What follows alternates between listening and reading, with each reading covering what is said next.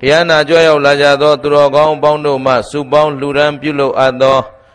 ဓမ္မပူဇနိယကာလအခါသမယ၌တရားတော်နာကြွရောက်လာကြသောယောဂီသူတော်စင်များအားလုံးစိတ်ဤချမ်းသာခြင်းကိုယ်ဤကျမ်းမာခြင်းပြည့်စုံစွာနှင့်ဦးဇင်းတို့ဟောပြောပြသမဲ့သစ္စာတရားများကို နာလဲနာနိုင်ကြပါစေနာရတဲ့အတိုင်းလဲသိကြပါစေ သိတဲ့အတိုင်းလဲဒီဘဝဒီခန္ဓာမစွန့်ကြခင် ကိုဒုက္ခကိုလက်ဆသိမ့်အောင်ကျင့်ကြံကြိုးကုပ်ပွားများအားထုတ်နိုင်ကြပါစေလို့ရှေးဥစွာမေတ္တာပို့သပေးလိုက်ပါတယ်နော်သစ္စာတရားတော်တို့ကိုဟောကြားရာ၌သစ္စာလေးပါးမြတ်တရားတော်တို့ကိုဆရာမကူသယံမူညံတော်မြတ်ဖြင့်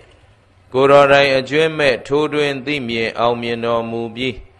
တတ္တဝဝိနည်းအပေါင်းတို့အားတစ္ဆာရည်အေးအမြိုက်စေတော်တို့ကိုတိုက်ကြွေတော်မူပေထသော မဟာကရုဏာတော်ရှင်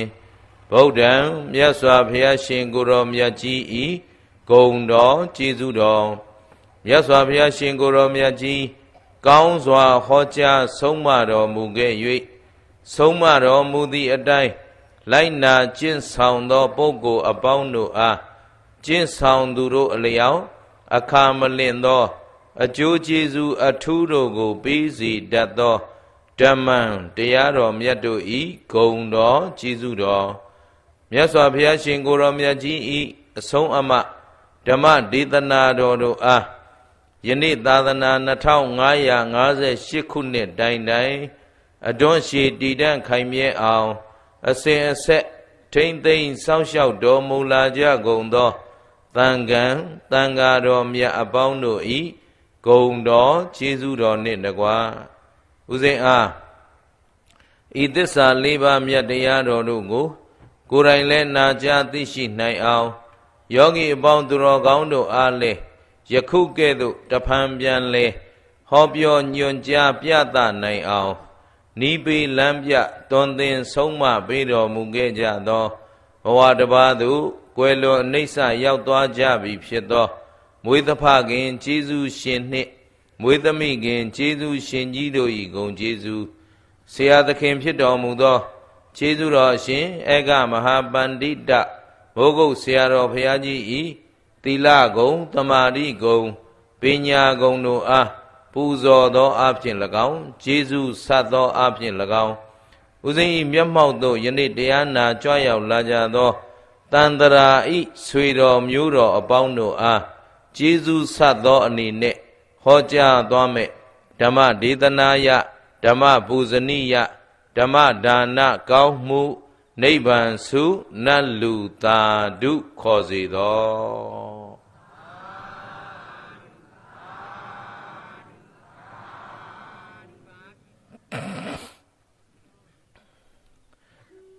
ကဲတရားနာကြွရောက်လာကြသောတရားချစ်ခင်သူတော်စင်အပေါင်းတို့နှင့်တကွအံအမြို့နယ်အတွင်မိတင်းနေထိုင်ကြသော လူနတ်များစွာတတ္တဝါအားလုံးကိုစိတ်နှဖျားဘေးရန်ကွာ၍ငြိမ်းအေးချမ်းသာကြပါစေမကောင်းမှုအကုသိုလ်တရားများမှဝေးစွာရှောင်ရှားနိုင်ကြပါစေကောင်းမှုကုသိုလ်တရားများ အစဉ်တိုးပွားနိုင်ကြကုန်သည်ဖြစ်လျက်သူတော်ကောင်းတရားကိုစီကိုငတ်ပွားများအားထုတ်နိုင်သော ပုဂ္ဂိုလ်တူများဖြစ်ကြပါစေလို့ရှေးဥစွာ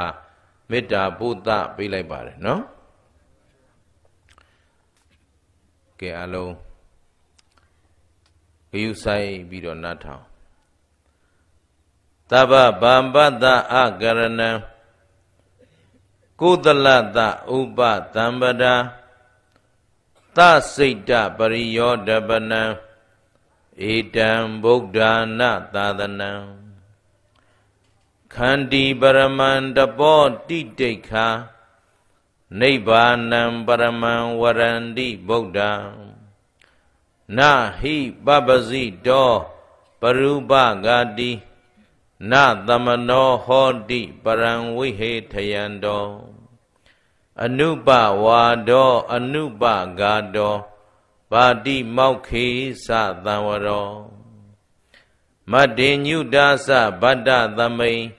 ပန္တင်စတယနာတနံအဓိစိတ်တေစအာယောကောဧတံဗုဒ္ဓါနာသာသနံ တပ္ပဘာပတ္တအလုံးစုံသောအာဟုသို့ကိုယံအကရဏံအကျင်မပြုတ်ကျင့်ခြင်းသည်၎င်းကုသလတကုသိုလ်ကိုယာဥပတံပဒံအကျင်ပြည့်စုံစေခြင်းသည်၎င်းယံသစိတ်တပရိယောဓပနံအကျင်မိမိစိတ်ကို ဖြူစင်စေခြင်းသည်၎င်း အဋ္ဌိရှိ၏ဧတံထိုမကောင်းမှုအကုသိုလ်ကိုမပြုခြင်းကုသိုလ်ကောင်းမှုကိုပြည့်စုံစေခြင်းစိတ်ကိုဖြူစင်စေခြင်းအစရှိသော အဆုံးအမတရားတို့သည်ဗုဒ္ဓနာရှေးရှေးပွင့်တော်မူပြီးကြကုန်သော ရှင်တော်ဗုဒ္ဓမြတ်စွာဘုရားတို့ဤသာသနံအဆုံးအမတော်သည် တိတိခာသီခံခြင်းဟုဆိုအပ်သောခန္တီခန္တိသီခံခြင်းခန္တိသည်ပရမံမြတ်သောတပောအကျင့်သည်နိဗ္ဗာနံကိလေသာမငြိမ်းအေးခြင်းနိဗ္ဗာန်ကို ပရမံမြတ်ဤဟု၍ဗုဒ္ဓနံမြတ်စွာဘုရားရှင်တို့သည်ဝရန္တိဟောတော်မူကြကုန်၏ပရူပဂာတိ သူတစ်ပါးအသက်ကိုတပ်ဖြတ်လေရှိသောသူသည်ပပ္ပစီတော်ယဟန်မြည်သည်ဝါဗုဒ္ဓဤတပိသာတာဝကမြည်သည်နဟိဟောတိစင်စစ်မဖြစ်ပရံသူတစ်ပါးကိုဝိဟေထယံတော်ကိုစိတ်ပင်ပန်းအောင်ညင်ပန်းနှိမ့်ဆက်လေရှိသောသူသည်တမနောယဟန်မြည်သည် ဝါဗုဒ္ဓဤတပိသာသာဝကမြည်သည်ဝါစိတ်နှလုံးငြိမ်းအေးချမ်းသာသူသည်နဟောတိမဖြစ်အနုပဝါတော်မစွတ်ဆွဲမကဲ့ရဲ့ခြင်းသည်၎င်းအနုပဂါတော်မငင်းစေမတတ်ဖြတ်ခြင်းသည်၎င်းပါတိမောက်ခေ အကြီးမှုဖြစ်သော ပါတိမောက်ခသီလ၌ တံဝရောစကောင်းစွာစောင့်စည်းခြင်းသည်၎င်းဗတ္တသမိန်ဆွမ်းဘောစဉ်၌မတ်တင်ညုတာစအတိုင်းရှိကိုသိသည်ဤအဖြစ်သည်၎င်းဗန္တင်စတယနာတနံစိတ်ကျင်ရာဖြစ်သောနေရာကြောင်း၌နေခြင်းသည်၎င်းအဓိစိတ်တေမိမိစိတ်ကိုအစိုးရခြင်းတည်းဟုသောအဓိစိတ်တသိခာပဒ၌ အာယောဂောစလုံလပြုခြင်းသည်၎င်းအဋ္ဌိရှိ၏ဧတံဤအဆုံးမတရားတို့သည်ဗုဒ္ဓနံရှေးရှေးပွင့်တော်မူပြီးကြကုန်သော ရှင်တော်ဗုဒ္ဓမြတ်စွာဘုရားတို့ဤသာသနံအဆုံးမတော်ဒီဟု၍ဗုဒ္ဓနတ်လူတို့ဤထိပ်ပံယဟန်တို့ဤဆရာဖြစ်တော်မူသော သဗ္ဗညုတရှင်တော်မြတ်စွာဘုရားသည်ဝရာမိကောင်းစွာမသွေဟောကြားဆုံးမတော်မူခဲ့ပါပေသတည်း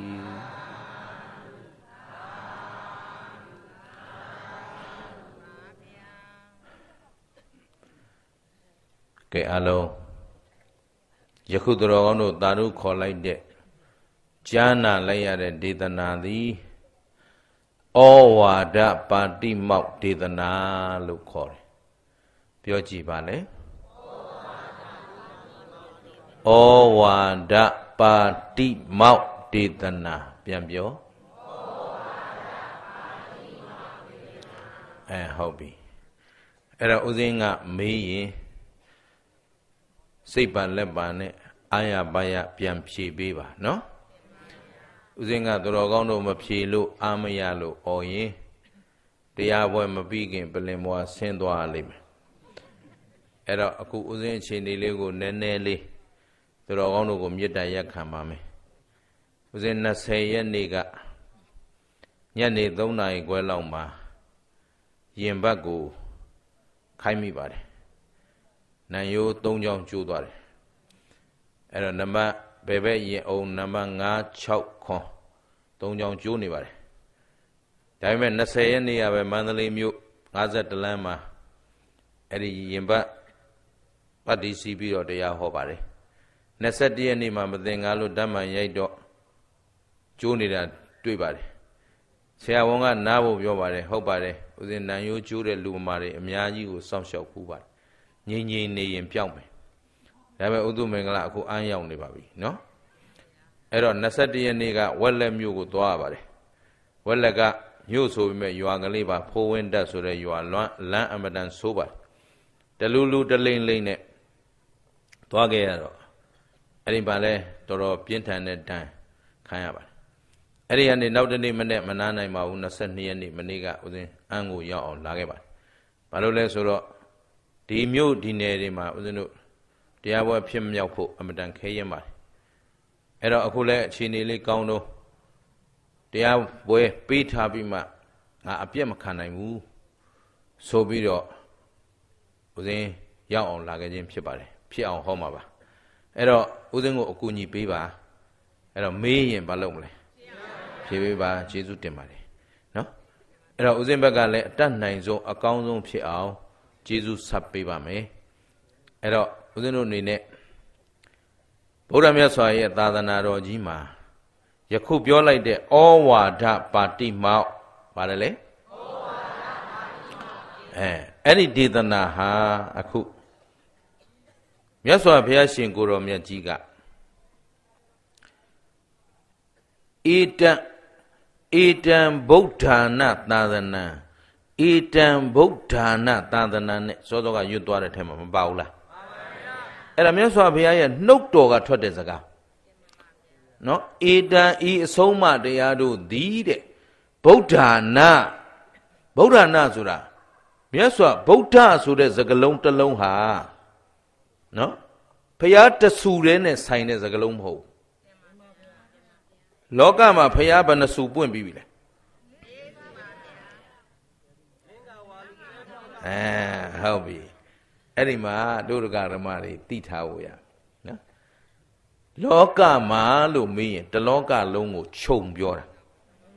နော်ဒီကဘာမှာလို့ပြောရင်ခုနကဓမ္မကြီးတို့ဒကာကြီးတို့ဖြေတာမှန်တယ်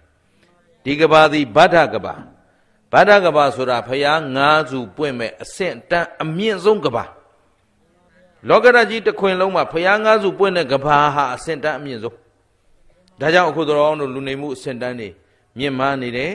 အခုတိုးတက်တဲ့သိပ္ပံပညာတွေတိုးတက်တဲ့ယဉ်ကျေးတဲ့ဒီနေ့ကဘာမှာဆိုရင်ဥစဉ်ကတော့ကဘာကိုတဝက်နီးနီးလောက်သွားထားပြီးပြီဆိုတော့အခြေဒီတွေသိတယ်ကဘာပေါ်မှာ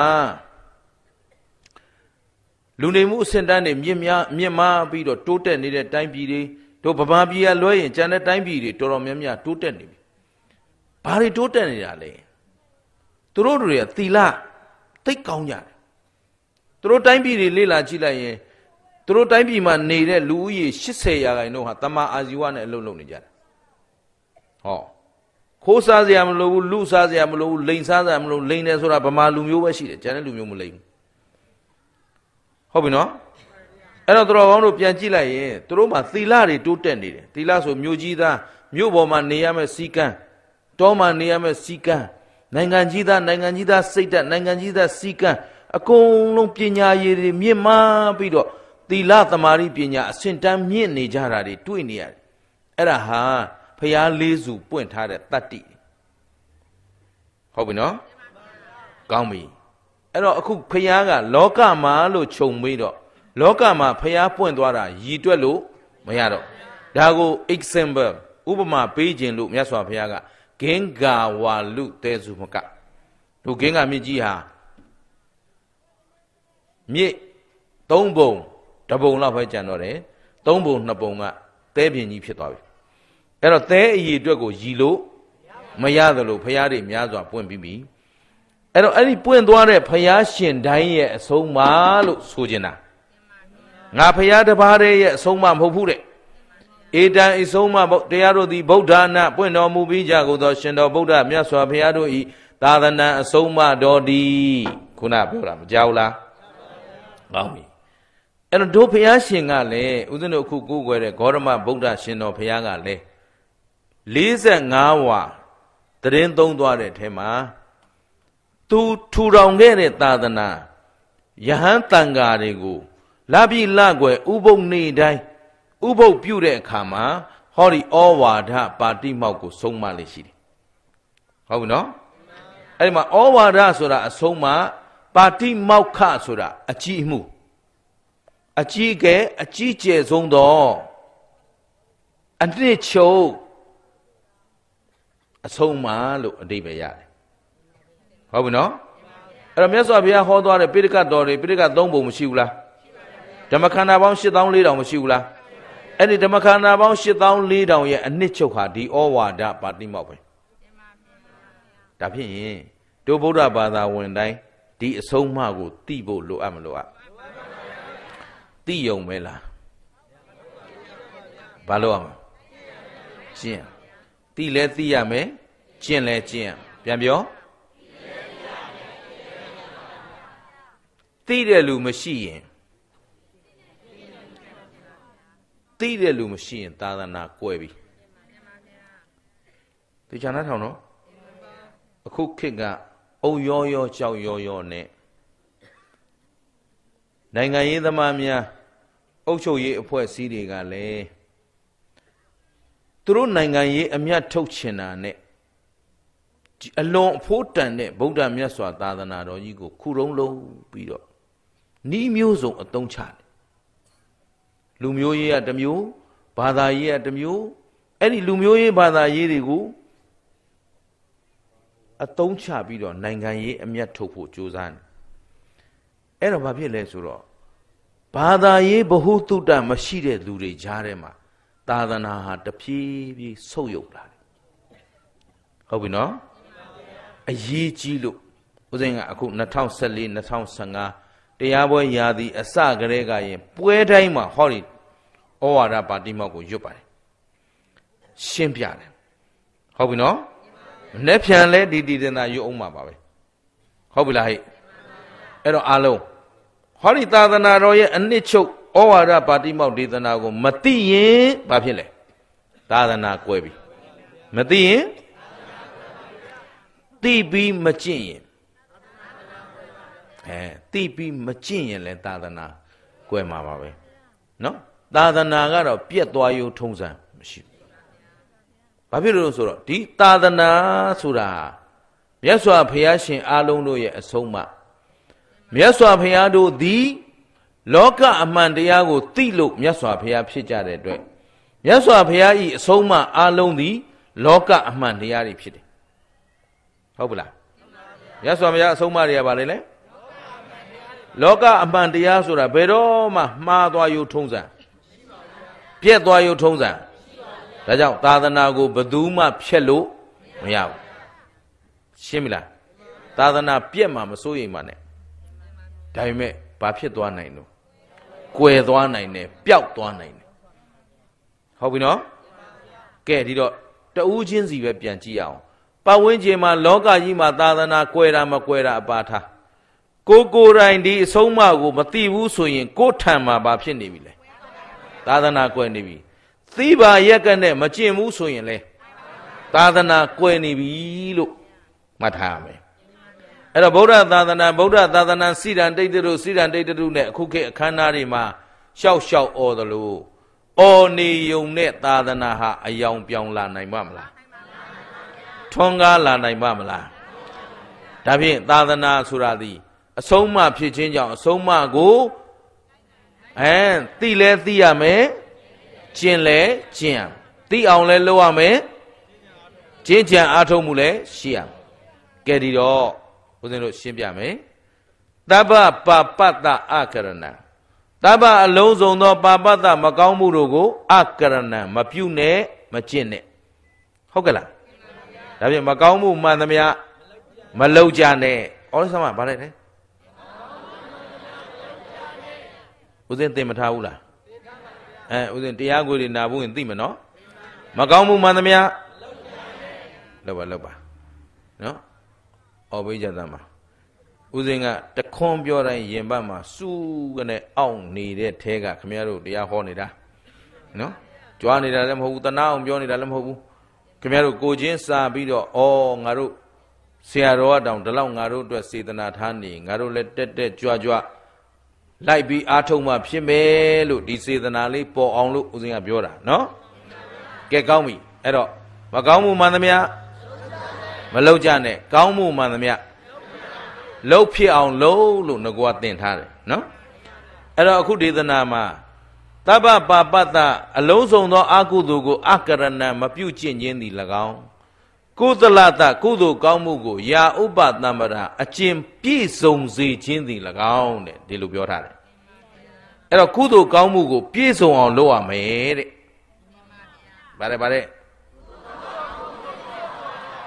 အဲ့တော့လှုပ်ဖြစ်အောင်လုပ်ဘယ်လောက်ထိလုပ်မလဲ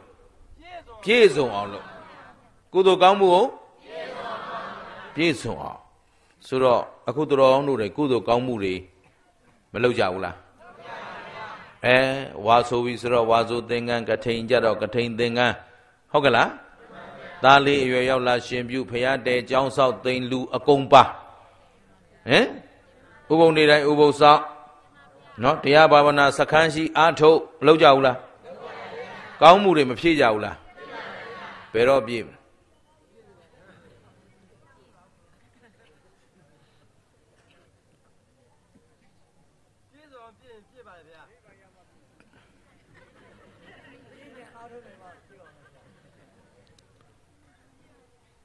ကိုယ်ပိုင်စဉ်းစားစေခြင်းလို့ပြောတာနော်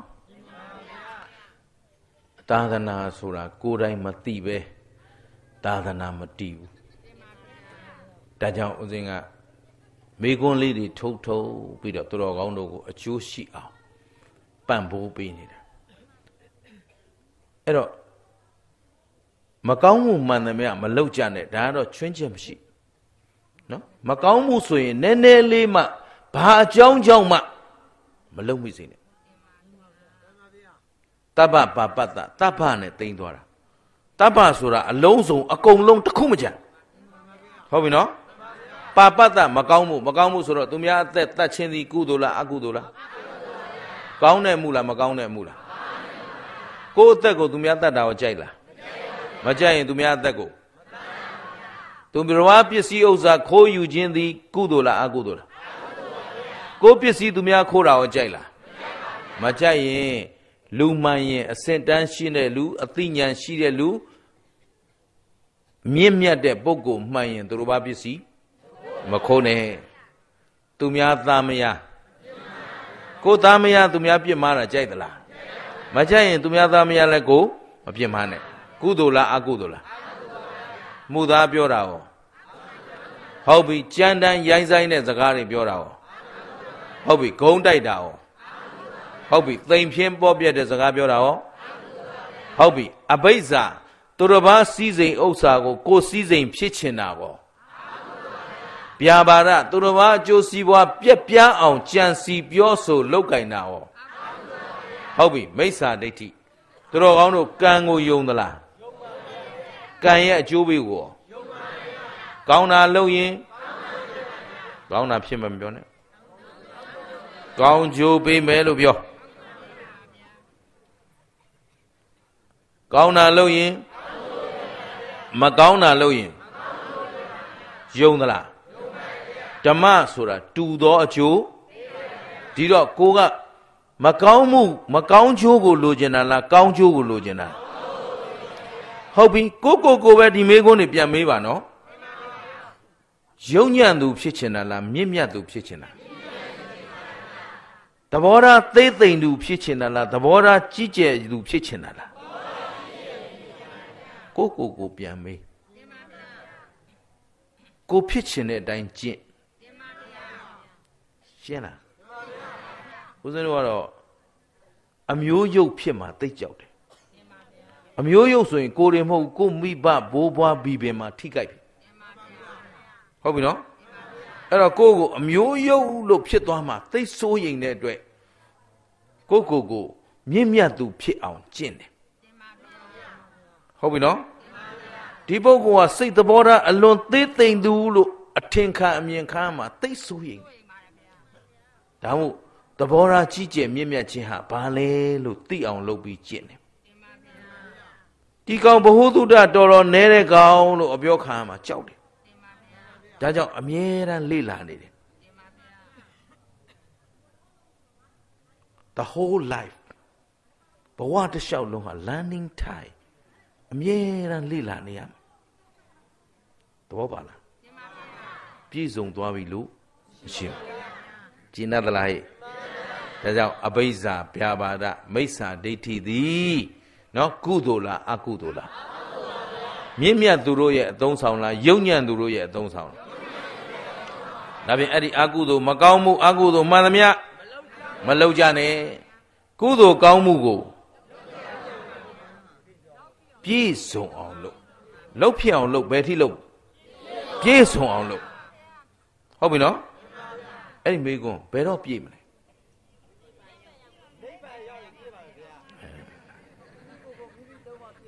နည်းနည်းတော့နည်းနည်းတော့သူတို့အဖြေထွက်လာပြီနော် ကိုဖြေတဲ့အဖြေနဲ့မိကွန်းနဲ့ဒါဟဇာတဖြစ်မဖြစ်ဆိုတာပြန်ချိန်အောင်မယ်အဲ့တော့တို့ဗုဒ္ဓဘာသာဝင်တွေမှာအဆုံးပန်းတိုင်ရှိမရှိရှိပါပါရှိတယ်နော်ပန်းတိုင်ပါလေနိဗ္ဗာန်ဘယ်ဘာသာနဲ့မှမတူကဘာပေါ်မှာကိုးကွယ်မှုဘာသာပေါင်း20ကျော်ဒါ thesis လုပ်ထားတာပေါ့လေနော်အများ thesis လုပ်ထားတာဥဒ္ဓမင်္ဂလာလုပ်ထားတာတော့မဟုတ်ဘူး အဲ့တော့အများ thesis လုပ်ထားတဲ့ကိုးကွယ်ဘာသာ20ကျော်ထဲမှာအဆုံးပန်းတိုင်ရှိတဲ့တိတိကျကျရှိတဲ့ဘာသာဟာဗုဒ္ဓဘာသာတစ်မျိုးတည်းမှာပဲရှိတယ်။ရောင်ဝါမဟုတ်ဘူး။ဗုဒ္ဓရှင်တော်ဖရာတို့ကလည်းသူတို့ဒီလမ်းကိုရှောက်တယ်ဒီခီးကိုပေါက်ပြီးတော့ဒီပန်းတိုင်ကိုရောက်သွားတယ်။မင်းတို့လည်းဒီလမ်းလျှောက်ပြီးဒီခီးပေါက်ရင်ဒီအဆုံးပန်းတိုင်ရောက်ရမယ်လို့ပြောသွားတာကနိယာမ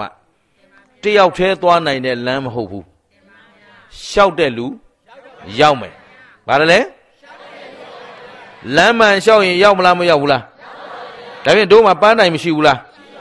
ဒါဖြင့်ဦးဇင်းတို့ဒီဘယ်ချိန်ပြည့်မှလဲလို့မေးရင်နိဗ္ဗာန်ရောက်ရင်ပြည့်ပြီပေါ့ဟုတ်ဘူးလားဒါ limit unlimited အဆုံးမရှိတဲ့လမ်းမဟုတ်ဘူး limited way အဆုံးရှိတဲ့ လမ်းတတ်မှတ်ချက်ရှိတဲ့လမ်းဆုံးရှိတယ်ဟုတ်ပလားဟဲ့ဒါဖြင့်ကုသိုလ်ကောင်းမှုကိုနိဗ္ဗာန်မရောက်မချင်းဖြစ်ရမယ်ဦးဇင်းတို့ငငယ်တုန်းကကြားဘူးတဲ့အဖိုးအဖွားတွေပြောတာတို့တော့သေပြောပြီတဲ့ဘာဖြစ်လို့တော့ဖះလဲတည်ပြီးပြီကြောင်းလဲဆောက်ပြီးပြီသားတွေမြေးတွေလဲရှင်ပြုတ်ပြီးပြီငါတို့မလုတ်ဖူးတဲ့ကုသိုလ်မရှိတော့ဘူးတဲ့သေပြောပြီ အဲ့ဒီချိန်ကတော့ဥဒ္ဓမင်္ဂလာကဘဝတုတ္တမရှိတော့ပြန်မမေးနိုင်ဘူးအခုချိန်ဆိုပြန်မေးလိုက်မယ်ဒါဆိုဖိုးဖိုးတို့ဖွားဖွားတို့သောတပတ္တိမက်ကုသိုလ်သောတပတ္တိဖိုကုသိုလ်ရဘူးပြီလားဟမ်တဘောပါလားဒါမှမရသေးရင်စိတ်ချရပြီလို့ပြောလို့ မရဘူးတို့မှမရသေးတဲ့ကုသိုလ်တွေသောတာပတ္တိမက်ကုသိုလ်သောတာပတ္တိဖိုကုသိုလ်သဂရာဂမိမက်ကုသိုလ်သဂရာဂမိဖိုကုသိုလ်အနာဂမိမက်ကုသိုလ်အနာဂမိဖိုကုသိုလ်အရဟတမက်ကုသိုလ်အရဟတဖိုကုသိုလ်မရှိဘူးလားအဲ့ဒီကုသိုလ်တွေရဘူးပြီလားမရသေးရင်တို့ပြည့်စုံပြီလို့ပြောလို့ဒါကုသိုလ်ကောင်းမှုကိုဘယ်တိုင်အောင်လုပ်မယ်နိဗ္ဗာန်ရောက်တဲ့တိုင်အောင်ဒါကအယတ်သားနားလည်အောင်ပြောလိုက်တာနော်ပညာရှင်စကားနဲ့ပြောရရင် လေးမဲ့လေးဖို့ရမှကောင်းမှုတွေပြည့်မှာလို့မှတ်ထားသဘောပါသလားပညာရှင်စကားနဲ့ပြောရင်ဘယ်လိုပြောမလဲလေးမဲ့လေးဖို့ရမှကောင်းမှုကုသိုလ်ပြည့်မှာတို့အယတ်သားလို့ပြောတော့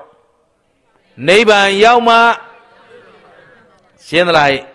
ဒါဖြင့်တို့အယတ်လို့ပဲပြောအောင်ကောင်းမှုကုသိုလ်ကိုဘယ်တိုင်အောင်ပြုမလဲကျင့်တတ်သလား သဘောပေါက်သလားဒါကိုကုသိုလ်ကောင်းမှုငါဘာတွေပြုပြီးပြီဘာတွေပြုပြီးပြီဆိုပြီးတင်းတိမ်ရောက်ရဲနေလို့မရောက်ဘယ်ရောက်တဲ့တိုင်အောင်ပြုနောက်သစိတ်တပရိယောဓပနံယန္တစိတ်တပရိယောဓပနံအကျင့်မိမိစိတ်ကို ဖြူစင်စေခြင်းသည်၎င်းမရှိဘူးလားစိတ်ကိုဘာလို့ဖြူအောင်ထားမယ်ဆိုခင်ဗျားတို့စိတ်တွေဘာဖြစ်နေလို့ ဟမ်စိတ်တွေဘာဖြစ်နေလို့ညစ်နေတယ်စိတ်ညစ်တယ်လို့ပြောဘူးလားအေးအဲ့ဒါကိုယ့်ကိုမရှက်လို့ဘာကြောင့်ညစ်တော့အေးဘာကြောင့်မဖြူတာတော့အေးအဲ့ဒီဖြေလို့ကျင်တာဒကမာကြီးရဲ့နော်ဒကမာကြီးတို့ကဖြေတာလမ်းဆုံးအောင်ဖြေတော့ကျုပ်ကမေးရရောနော်အဲ့တော့ဦးစင်းမေးနေတော့ဒီဘုန်းကြီးတော်တော်လက်ပေါက်ကတ်တဲ့ဘုန်းကြီး နော်အမေးကိုမဆုံးနိုင်ဘူးဦးစင်းကလေငယ်ငယ်တုန်းကအိမ်မှာဆရာတော်ကြီးတွေဇာရဗေဒဆရာတော်ကြီးတွေလင်္ကာပါအမြဲတမ်းကြွပြီးတော့ခမဲတော်ကြီးနဲ့မေတော်ကြီးတို့နဲ့တရားရေးတွေဆွေးနွေးကြတယ်အဲ့ဒီလိုနှစ်ပေါင်း20နီးနီးနေခဲ့ရတော့ညာတိုင်းတရားတန်တွေကြားနေရဒါပေမဲ့အဲ့ဒီတရားဝိုင်းထဲမှာဥဒုမင်္ဂလာကိုအဝင်မခံဘူး ဦးစင်ကဘေးကနေထိုင်နှားထောင်နေကောင်းလေးသွားအိတ်ဘယ်ချိန်ရှိပြီတော့ဒီကလည်းတရားကိုငငယ်ကလေးကစိတ်ဝင်စားတာဘုန်းကြီးဖြစ်မဲ့လူမို့လို့လာတော့မသိဘူးအဲ့တော့ဘာလို့အောင်လို့ဆိုတော့စက်တီကုံအောက်ကိုလေးဘက်ထောက်သွားပြီးတော့ဝုတ်ပြီးတော့နားထောင်နားထောင်ရင်းနဲ့မေးသူတို့ပြောလာတဲ့စကားမှမသိတာရှိရင်ထထမေးတယ်အဲသူတို့ကလည်းမဖြေနိုင်ပါဘူးနော်မဖြေနိုင်နောက်ဆုံးကြရင်သူ့မင်္ဂလာမှာပြောသွားအိတ်ချီရှားကိုရှိတယ် နင့်အရာလား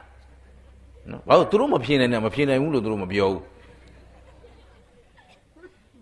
အခုလည်းခင်ဗျားတို့ဖြေနေတာလမ်းမှမဆုံးပဲ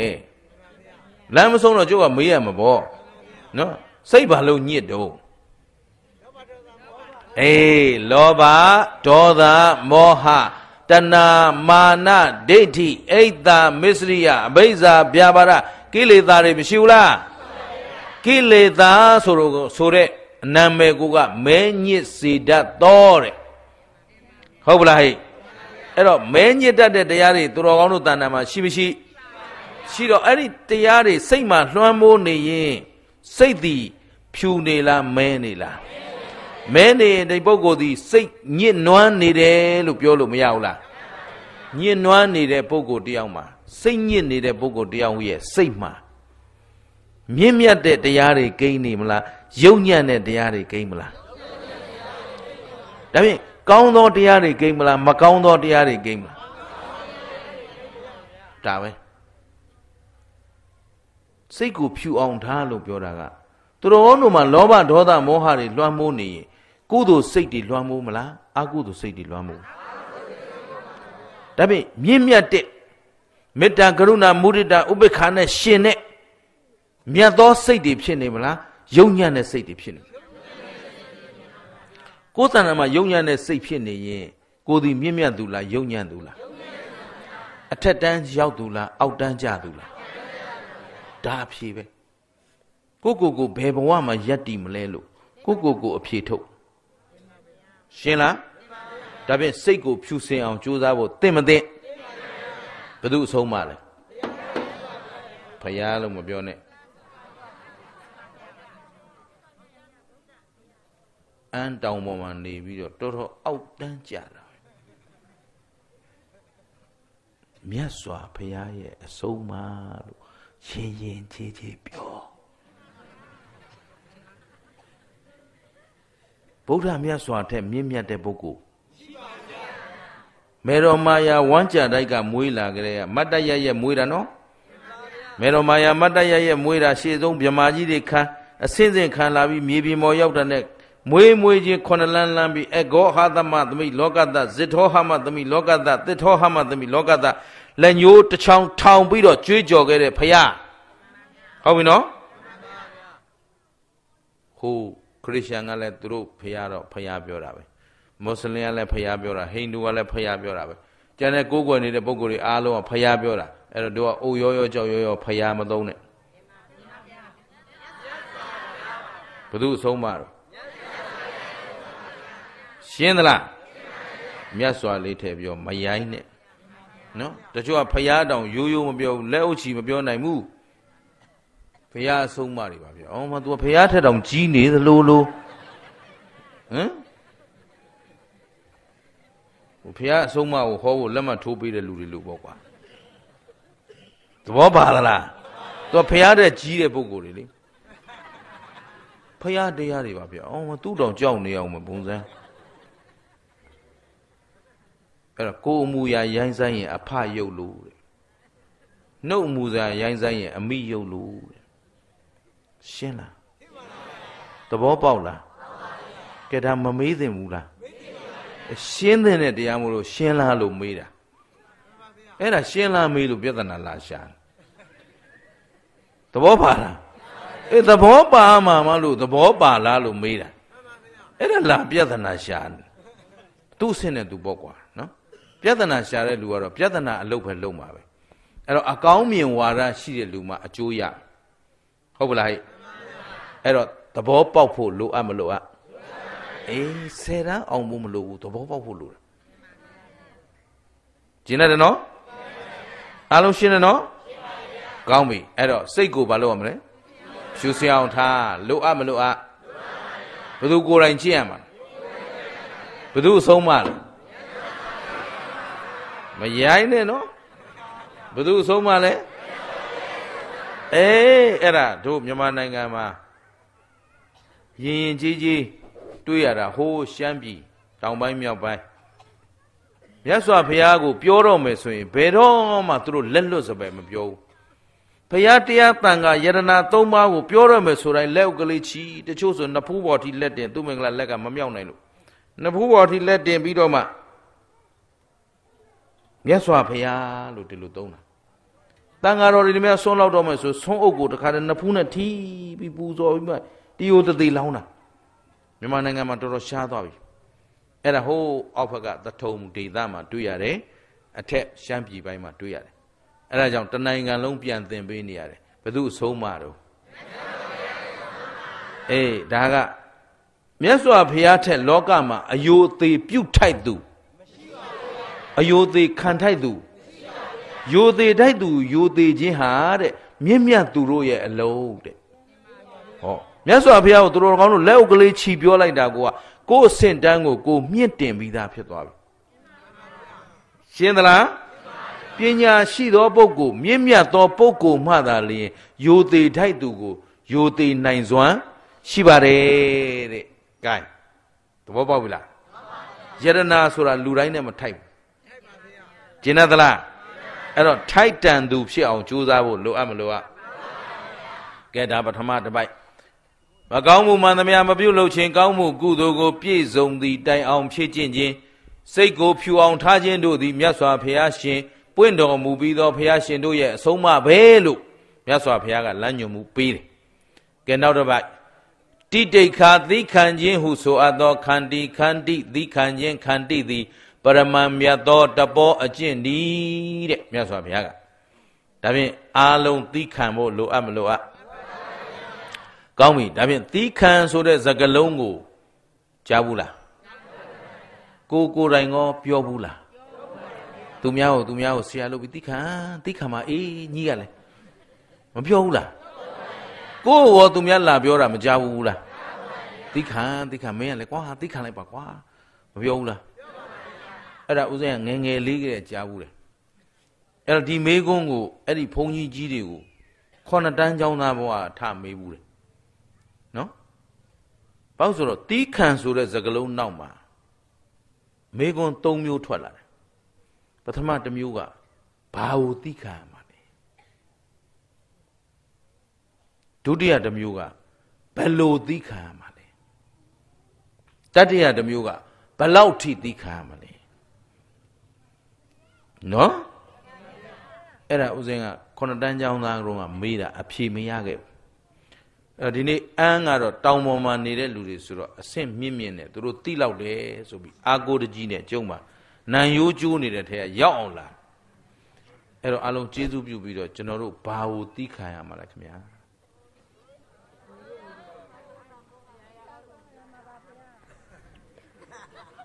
ကျေးဇူးပြုပြီးသင်ကြားပေးကြပါသူမင်္ဂလာမတက်ပါဘူး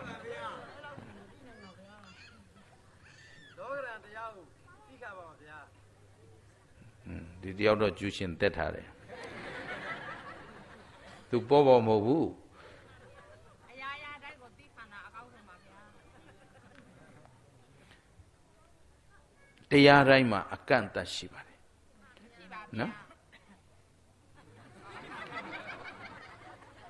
တရားတိုင်းမှာအကန့်အသတ်ရှိတယ်သူ့ limit နဲ့သူရှိပါတယ်အဲ့တော့ဦးဇင်းတို့ကတိကိုသိရမယ်ဘာကိုသိခံရမှာလဲဘယ်လိုသိခံရမှာလဲဟုတ်ပြီနော်ဘယ်လောက်ထိသိခံရမှာလဲအဲ့တော့တရားတစ်လုံးတစ်လုံးကိုဦးဇင်းကကြားတိုင်းဖတ်တိုင်းမှတ်တိုင်းလေးလာလို့သိရှိလာတိုင်းအဲ့ဒီအကြောင်းနေနဲ့ဦးဇင်းကလိုက်ရှာတယ်ဉာဏ်ဆိုတာကိုဦးဇင်းဒိဗ္ဗေဖော်ခဲ့တယ်လို့ပေါ့နော် ငယ်ငယ်လေးကလေးမဲတော်ခမဲတော်ကမင်းဉာဏ်ကိုလွှာသုံးစမ်းဆိုဓာကြီးကြိုင်ပြီးစဉ်းစားတယ်ဘာနဲ့သွားလွှာမလဲဘယ်ဟာကိုလွှာမှာဉာဏ်ကဘယ်နားမှာဟုတ်ပြီနော်သူမင်္ဂလာဒီလိုလူမျိုးမတိတိအောင်ကြိုးစားတယ်ရောင်ဝါတော့မနေဘူးမတိဘဲနဲ့ကိုကိုယ်တိုင်လည်းမသုံးဘူးလက်လည်းမတွက်ဘူးစင်းလည်းမစင်းစားဘူးတိလာပြီဆိုရင်တိအောင်ကြိုးစားတယ်တွေးလာတာနဲ့တိအောင်ကြိုးစားတယ်ရှင်းအောင်လုပ်တယ်အဲ့တော့ဉာဏ်ဆိုတာဘာလဲ common ခြုံကြည့်တယ်ဥစဉ်မိုးကုံမျိုးကြီးမှာ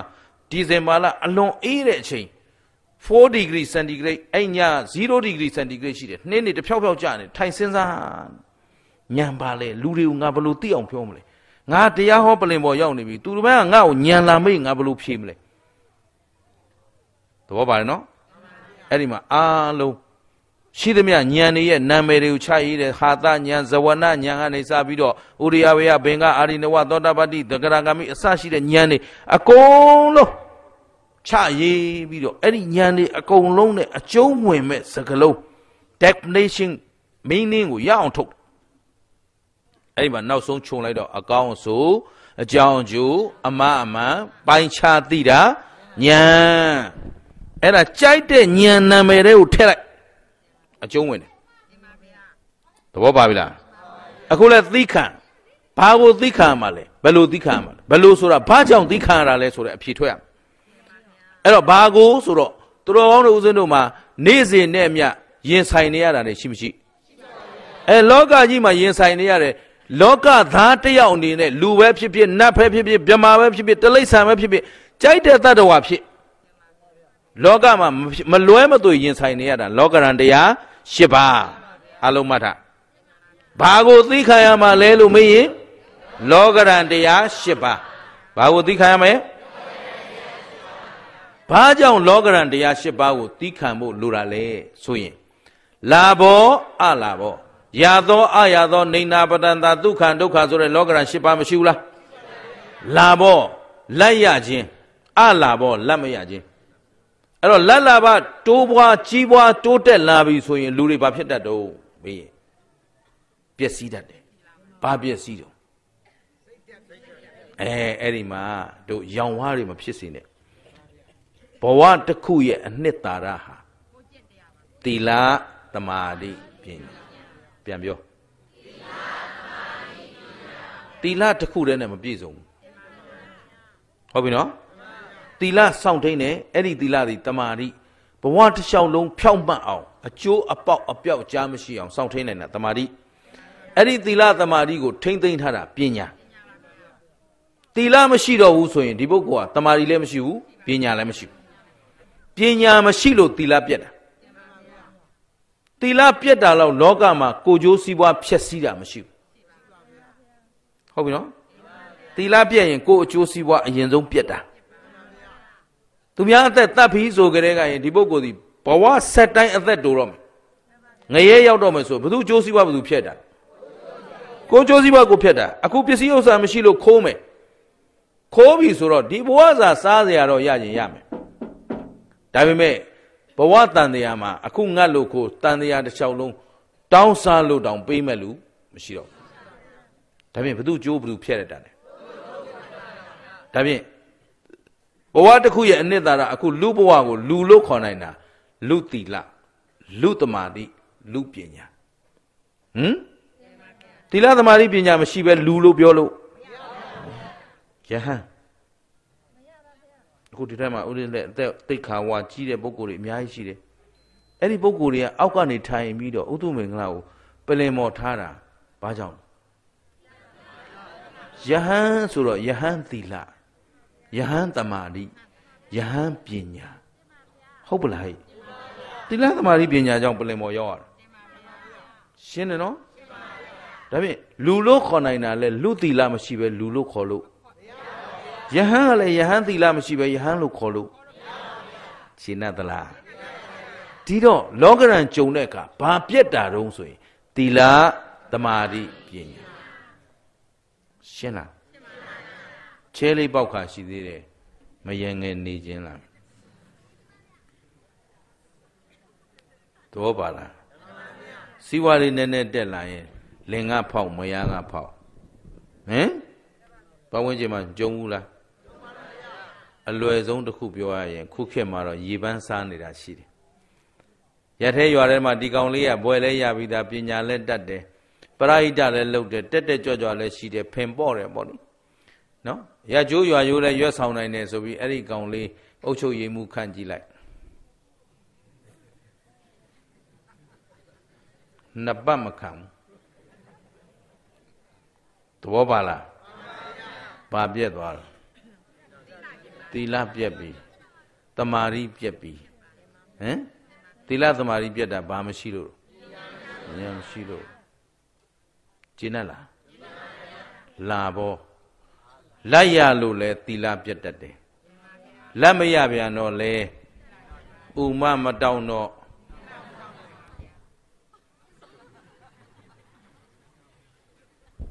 ခုခေတ်အစိုးရဝန်ထမ်းတွေမေးကြည့်လိုက်ဘာလို့ဟောက်စားခြောက်စားလိန်စားကြစ်စားတွေလုံနေတာလဲလို့မေးလိုက်လှုပ်ချင်ပါဘူးတဲ့မလောက်လို့ပါသ ဘောပါလားဥမမတောင်းတော့သွားပေါ့ကွာရှင်းလားလာဘောအလားတချို့ကအချွေရံများလာရင် အုပ်စုဖွဲ့ပြီးအနိုင်ကျင့်ကျင်တယ်ခုအုပ်စုဖွဲ့အနိုင်ကျင့်တဲ့ကောင်တွေတပုံကြီးပဲလောကမှာဟမ်တကောင်နဲ့じゃကြောက်လို့တဲ့ကြောက်လို့လိုက်လျောလိုက်ရတာတဲ့တယောက်တည်းဖြစ်နေတာကို သဘောပါလားအချွေရံများတော့တစ်မျိုးအချွေရံမရှိတော့တစ်မျိုးများလို့ပဲပြက်ပြက်မရှိလို့ပဲပြက်ပြက်ပြက်တာဟာကျင်တဲ့သလားအတချို့ကချီးမွမ်းခံရတော့တစ်မျိုးကဲရဲ့ခံရတော့တစ်မျိုးသဘောပါလားဟိအဲ့တော့သီးခံသီးခံဆိုတာဘာကိုသီးခံရမှာလောကရန်တရား၈ပါးကိုသီးခံဘယ်လိုသီးခံရမလဲ သီလသမာဓိပညာမပြည့်စည်အောင်သီးခံရမယ်ပြန်ပြော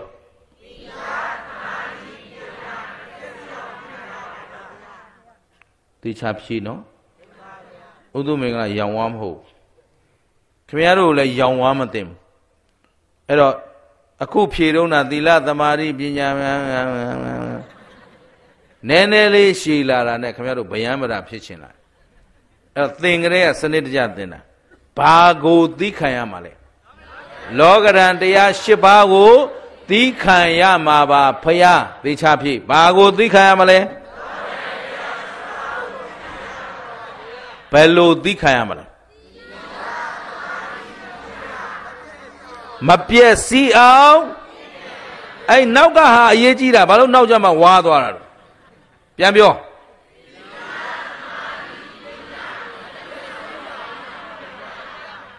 မာရတော့အိမ်ရောက်ရင်ရောင်ဝါသွားမလို့နဲ့နင်တို့ဘုန်းကြီးကမဟောလိုက်လို့ဟိုဟိုဟာလေးသီးခံလို့ခေါ်လိုက်တယ်နော်ဘာလို့သီးခံမှလဲလောကရန်၈ပါးဘယ်လိုသီးခံမှာဟိုသီးသီးသီးသီးသီးအခုတရားပွဲတဲ့ကရောင်နေမှတော့အိမ်ပါမှာမဟုတ်ဘူးနော်ဘာကိုသိခံမယ်လောကရန်တရား၈ပါးကိုဘယ်လိုသိခံရမလဲ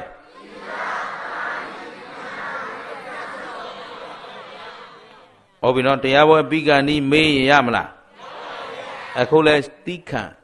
ခင်ဗျားတို့ရာသီဥတုကအေးတယ်ဒါပေမဲ့အခုဘာလာနာတာလဲပွဲလာကြည့်တာလားကာပွဲခုံပွဲလာတာလားပါတီပွဲလာတာလားဘာလာလောက်တာတော့ဘသူတရားတော့အာမလိမလုပ်ပါနဲ့ ဥဒုမင်္ဂလာတရားတဘုံမှမရှိဘူးအယက်ကတို့ရဲ့ကျေးဇူးပြုပြီးမစွတ်စွဲပါနဲ့ဗျာဘသူတရားတော့အခုသမ္မပါပတအကရဏဆိုတာဘုရားတဆူတဲ့တောင်မဟုတ်ပါဘူးပွင့်တော်မူပြီးတော့မြတ်စွာဘုရားရှင်တို့ရဲ့တရားပါဒီတော့အားလုံးမြတ်စွာဘုရားပေါ်မှာတန်ဖိုးထားဖို့လိုအပ်မလိုအပ်မြတ်စွာဘုရားဟောတဲ့တရားတော်တွေဒီလောကသားတွေအတွက်အကျိုးရှိမရှိ အကျိုးပြုမပြုဒါဖြင့်တန်ဖိုးရှိမရှိဒါဖြင့်မြတ်စွာဘုရားတရားတော်ဒီလောကအမှန်တရားတွေဟုတ်မဟုတ်ဟုတ်ရင်တရားတော်ကိုလည်းတန်ဖိုးထားဖို့လိုအပ်မလိုအပ်တရားတော်တွေဒီနေ့ထိကြားနာနေရတာဘယ်သူတွေရှိနေလို့တန်ဃာတော်တွေရှိနေလို့အဲ့တော့ဘုရားယရနာတရားယရနာတန်ဃာယရနာယရနာမြတ်သုံးပါးကိုလာရောက်ပူဇော်တာဖြစ်တဲ့အတွက်တရားပွဲမပြီးမချင်းထမပြန်ပါနဲ့ ဟုတ်ပြီနော်သာသနာပြုပေးကြပါနော်ရေစက်ချအမျှဝေပြီးသူမင်္ဂလာပြန်သွားဟိုကားပေါ်ရောက်လို့ပြန်သွားမှကိုယ်နေရာကိုအေးအေးဆေးဆေးပြန်ထွက်ခြင်းဖြင့်သာသနာပြုပေးပါမဟုတ်ရင်ဒီမှာဓမ္မပူဇာကပ်ရင်ဝေယုံသုံးကားနဲ့နောက်ကထပြေးကုန်ပြီနော်အခုဆရာတော်ဘေးရန်ကင်းပါစေဆိုတာမေတ္တာပို့ခံခြင်းလွန်းလို့မဟုတ်ဘူးခမည်းတော်ကုသိုလ်ရအောင်လုပ်ပေးတာဟုတ်ပြီနော်အပြင်ကကြည့်ရင် သာသနာတော်ကြီးကိုအထင်သေးကြလွန်းလို့ဘုန်းကြီးကပလင်ပေါ်တက်လာပြီးအောက်ကညင်းလို့ခုံလို့မပြီးသေးဘူးအဲ့လိုဖြစ်နေလို့မေတ္တာပို့ခိုင်းထားတာအခုလည်းပြန်ကြွသွားရင်ဆရာတော်ကားပေါ်မရောက်မချင်းဆရာတော်ဆိုတော့ကျုပ်တပားတဲ့အတွက်ပြောတာမဟုတ်ဘူးဘယ်တရားပွဲပဲကျင်းပကျင်းပဘယ်ဆရာတော်ပဲလာဟောလာဟောဆရာတော်ပြန်မကြွမချင်းနေရာကမထားနဲ့ဆရာတော်ဘေးရန်ကင်းပါစေမေတ္တာပို့နေအမှန်တန်ကြီးညိုစရာမကောင်းဘူးလားအဲ့ဒါပဲသီးခံဆိုတာအဲ့ဒါပါပဲဟုတ်ပြီနော် အဲ့တော့ဘာကိုသီးခံရမှာလဲဘယ်လိုသီးခံရမှာလဲအဲနောက်ဆုံးမေးခွန်းကတော့ခင်ဗျားတို့တီးပြီးသားဖြစ်ပါလိမ့်မယ်ဘယ်လောက်ထိသီးခံရမှာလဲအိုးတာရုတာရုတာရုအန်းကဘယ်ပို့လို့လဲနော်ဘယ်ရောက်အောင်သီးခံရမလဲနိဗ္ဗာန်မရောက်မချင်းငါတို့လမ်း မဆုံးသေးဘူးရှင်းသလားအဲ့တော့ကိုယ်သီလတမာရိပညာကိုအဓိသီလအဓိစိတ်တအဓိပညာဆိုတဲ့နိဗ္ဗာန်မက်ဖို့ပန်းတိုင်မရောက်မချင်းသီးခံနိုင်အောင်ကြိုးစားရမယ်သီလမပြတ်အောင်သီးခံပါတမာရိမပြတ်အောင်သီးခံပါပညာမပြတ်အောင်သီးခံပါဘလောက်ဆင်းရဲဆင်းရဲငွေမရှိလို့ဘဝမပြတ်ဘူးသီလပြတ်မှဘဝပြတ်ယာဒူးမရှိလို့ဘဝမပြတ်ဘူးသီလမရှိမှ သဘောပါသလားလူဖြစ်ခိုက်လူတီလာတမာရီပညာမှမရှိရင်လူဘဝပြက်ပြီကျင်တ်သလားအလုံးသဘောပေါက်တယ်နော်အဲ့တော့ဒီတလုံးဆွဲဆွဲမြဲမြဲမှတ်သွားပါနော်ကောင်းပြီခတိပရမန်တဘောတိဋ္ဌိခနိဗ္ဗာန်ပရမန်ဝရန္တိဗုဒ္ဓလောကမှာကိလေသာငြိမ်းအေးတဲ့နိဗ္ဗာန်ဟာအမြတ်ဆုံးတဲ့ဟုတ်ပလားဟဲ့အဲ့တော့ကိလေသာငြိမ်းအေးအောင်ကြိုးစားကြဖို့လိုအပ်မလိုအပ် အဲအဲ့ဒီနောက်ကမှနော်ပန္တင်စနောက်ကသီခံခြင်းဟာမင်္ဂလာတစ်ပါးဆိုပြီးတော့နောက်ကလာပါပြီနော်သူတစ်ပါးအသက်တတ်ခြင်းသည်ကောင်းသောလို့လားမကောင်းသောလို့လားမြတ်စွာဘုရားကတတ်မှုကိုဦးစားပေးလားမတတ်နဲ့လို့ဆုံးမသလားအဲအဲ့ဒီတွေ့နော် သူတို့ဘာအသက်တတ်တဲ့လူစီပပစစ်တော်ယဟန်မဟုတ်တော့ဘူးတဲ့။ဝါသူမြတ်စွာဘုရားရဲ့တပည့်သားတာဝကမဟုတ်တော့ဘူး။အဲ့တော့မြတ်စွာဘုရားတရားတော်တွေကိုယုံကြည်တယ်ဆိုသူများအသက်ကိုမသတ်ပါနဲ့။နောက်ပရံသူတစ်ပါးကိုဝိဟေထေယံတော်ညင်ပန်နှိပ်ဆက်ကိုစိတ်ပင်ပန်းအောင်ညင်ပန်နှိပ်ဆက်လေးရှိတဲ့လူဟာမြတ်စွာဘုရားရဲ့တပည့်သားမဟုတ်တော့ဘူး။ကိုစိတ်ငြိမ်းအေးသူမဟုတ်နိုင်တော့ဘူးတဲ့။ဟုတ်ပလားဟဲ့။ ဒါဘု து အဆုံးမတော့ဒါပြင်မြတ်စွာဘုရားအဆုံးမကိုလိုက်နာကျင့်သုံးသူတိုင်းသူတစ်ပါးအသက်ကိုသူတစ်ပါးကိုစိတ်ပင်ပန်းအောင်မလောက်ပါနဲ့ငါပြောလိုက်တာဟိုကောင်မမျက်ရည်တောက်တောက်ကျသွားတာအမဲသူကပြောနေတယ်သဘောပါတယ်နော်ဖြစ်တင်သလားဗုဒ္ဓဘာသာမှရင်သူတစ်ပါးစိတ်ဆင်းရဲအောင်ပြောရမလားစိတ်ချမ်းသာအောင်ပြောရမလားကျင်တဲ့တနော်အဲနောက်ကအနုပဝါတော့မစွတ်စွဲမကဲ့ရဲ့ခြင်းသည်၎င်း ဗုဒ္ဓရဲ့တပိသားမှရင်ဘယ်သူတဦးတယောက်ကိုမှမစွတ်ဆွဲပါနဲ့မကဲ့ရပါနဲ့အကြောင်းကောင်းရင်အကြောင်းမကောင်းရင်လောကမှာရှိနေတာအကြောင်းတရားနဲ့ဒီပြင်ပါရှိသေးတယ်ဘာမှရှိတော့ပုဂ္ဂိုလ်တ attva တွေကပြုပြင်နေတာလားအကြောင်းတရားအကျိုးတရားကပြုပြင်တာလားကိုကမကောင်းကျိုးကိုမလိုချင်ရင်မကောင်းတဲ့အကြောင်းမလုံနဲ့ဒါကြောင့်ပြုသမျှအကြောင်း မကောင်းကောင်းအောင်လုပ်သင်မထားဘူးလားပြန်ပြောလုပ်သမျှအကောင်းအကြောင်းမကောင်းကောင်းအောင်လုပ်ကောင်းအောင်လုပ်မှကောင်းတဲ့အကျိုးရမှာခင်ဗျားတို့မကောင်းကျိုးလိုချင်လားကောင်းကျိုးလိုချင်လားဘယ်သူပေါ်မူတည်လဲဘယ်သူမပြုတ်အဲ့တော့ကိုကောင်းကျိုးမကောင်းကျိုးခံစားရတာသူများလှုပ်ထားတာလားကိုပြုတ်ထားတဲ့အကြောင်းလားဒါဖြင့်ဘသူကိုမှဆွဆွဲเสียဘသူကိုမှကဲ့ရဲ့เสียလဲ ဘလို့သူ့မှာလည်းလောဘရှိသလိုငါ့မှာလည်းလောဘရှိရင်လောဘရှိတဲ့လူတိုင်းမမာဘူးလားအဲ့တော့ तू လည်းမားတယ်ကိုလည်းမားတယ်သူ့မှာဒေါသရှိသလို तू လည်းဒေါသလျောက်မားသလိုကိုလည်းဒါပြင်ကဲ့ရဲ့စရာအကြောင်းအနုပါဝါတော့မဆွဆွဲမကဲ့ရဲ့ခြင်းသည်၎င်းအနုပကာတော့မငြင်းစေမတတ်ဖြတ်ခြင်းသည်၎င်းဒါဘယ်သူတွေကြည့်ရမှာလဲ တပည့်တော်တို့ကြည့်ရမှာလို့ဖြေမအော်နိုင်လို့ဒီမှာပြန်ပြောအခုဆုံးမနေတာဘယ်သူကိုဆုံးမနေတာလဲအခုဩဝါဒပါတိမောက်ကြီးကိုကြားနာနေရတာဘယ်သူတွေတော့ဒါဖြင့်ဒီတရားဘယ်သူအတွက်တရားတော့အဲ့ဒါဝေ့ပြီးတော့မလီလူတွေကြည့်ရမှာသတ္တဝါတွေကြည့်ရမှာ तू မပါတဲ့အတိုင်းပဲနေတို့ဟောနေတာသဘောပါသလားဒါဖြင့် သူတော်ကောင်းတို့သည်မဆွတ်ဆွဲနဲ့မကဲ့ရဲ့နဲ့မငင်းမနဲ့မနှိမ့်ဆက်နဲ့ဟုတ်ပလားဟိနောက်ကပါတိမောက်ခေစတံဝရောလူမှန်ရင်လူ၅ပါးသီလစောင့်ထိန်ဖို့လိုအပ်မလိုအပ်အောက်ထိပ်ဆုံး၅ပါးသီလကိုဘဝယတ္တိမှုအသက်မွေးမှုမှာသူများအသက်တတ်ပြီးလည်းမစားနဲ့သူများပစ္စည်းခိုးပြီးလဲမစားရှင်းသလားသူများသားမရလဲမပြစ်မနဲ့ရှင်းလားပြီးတော့ မှုသားမှုသားပြောပြီးတော့အသက်မွေးဝမ်းကြောင်းမပြုပါနဲ့သေရီသေရက်ရောင်းဝဲမတော့ယုံနေမဟုတ်ဘူးမိတို့ရဲ့ကိုကကြော်ညာကြီးကတပုံကြီးနော်မြန်မာနိုင်ငံကလည်းအတော်တော့အတူယူဖို့ကောင်းတယ်လျက်ပေါ်လော်လီတဲ့အရက်ကြော်ညာတွေကြောင်းတဲ့အဲ့ဒီမပေါ့တပေါ်ဝတ်ထားတဲ့မိမတွေကြော်ညာရှိလို့ဘုန်းကြီးတွေကြော်ညာမကတ်ရတဲ့ ဟိုမပေါ့တပေါ်တော့မပိတ်ဘူးဘုန်းကြီးကြော်ညာပိတ်တယ်တရားပွဲကိုဘုန်းကြီးတွေပုံနဲ့ကြော်ညာမကတ်ရဟောတန်ဃာတွေပုံကတ်ထားတော့ဟောဆရာတော်ဆိုလက်ဥကလေးချီသွားကုသိုလ်လားအကုသိုလ်လားဟိုမပေါ့တပေါ်လေးကြည်သွားတော့ဩအေးအေးအဲ့ဒီအရက်ကြော်ညာနဲ့မပေါ့တပေါ်မပိတ်ဘူးဘုန်းကြီးတွေတရားပွဲကိုပုံတော်နဲ့မကြော်ညာရကိုပိတ်ထားပြီးရန်ကုန်မှာ သဘောပါလားမြန်မာနိုင်ငံပညာရှိတွေအုပ်ချုပ်တာဘာမှမပူနဲ့အာကုသို့ပွားเสียမပေါ့တပေါ်မပိတ်ဘူးနော်တို့တိရိလင်္ကာနိုင်ငံမှာသွားတယ်တနိုင်ငံလုံးပတ်တာတီဟိုကိုချစ်လွန်းလို့ဥစဉ်ခဏခဏသွားတယ်ဟိုရောက်သွားတဲ့ခါကျရင်မပေါ်တဘောပုံတပုံမှမတွေ့ရဘူးအရက်ကြော်ညာဆိုင်ဖို့ဘယ်နေရာမှမတွေ့ရဘူးအရက်ဆိုဘီယာပါမပါဘူးကြော်ညာမရှိဘူး လမ်းစုံလမ်းကလမ်းလေးကလူအများသွားလာနေတဲ့နေရာမှာအရက်ဆိုင်မရှိဘူးတိရိလင်္ကာဗုဒ္ဓဘာသာနိုင်ငံမြန်မာနိုင်ငံက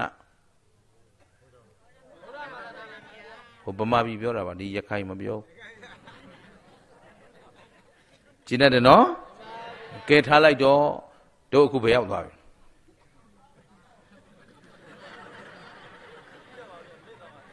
တော်လိုက်တာသာဓုသာဓု ဒီမှာအာကျိုးမှန်တဲ့ပြောနေတာတခုံးပြောလိုက်ဒီမှာစူးနေတာနော်ကြည်စံမှန်တဲ့အတိုင်းပဲကဲထားပါတော့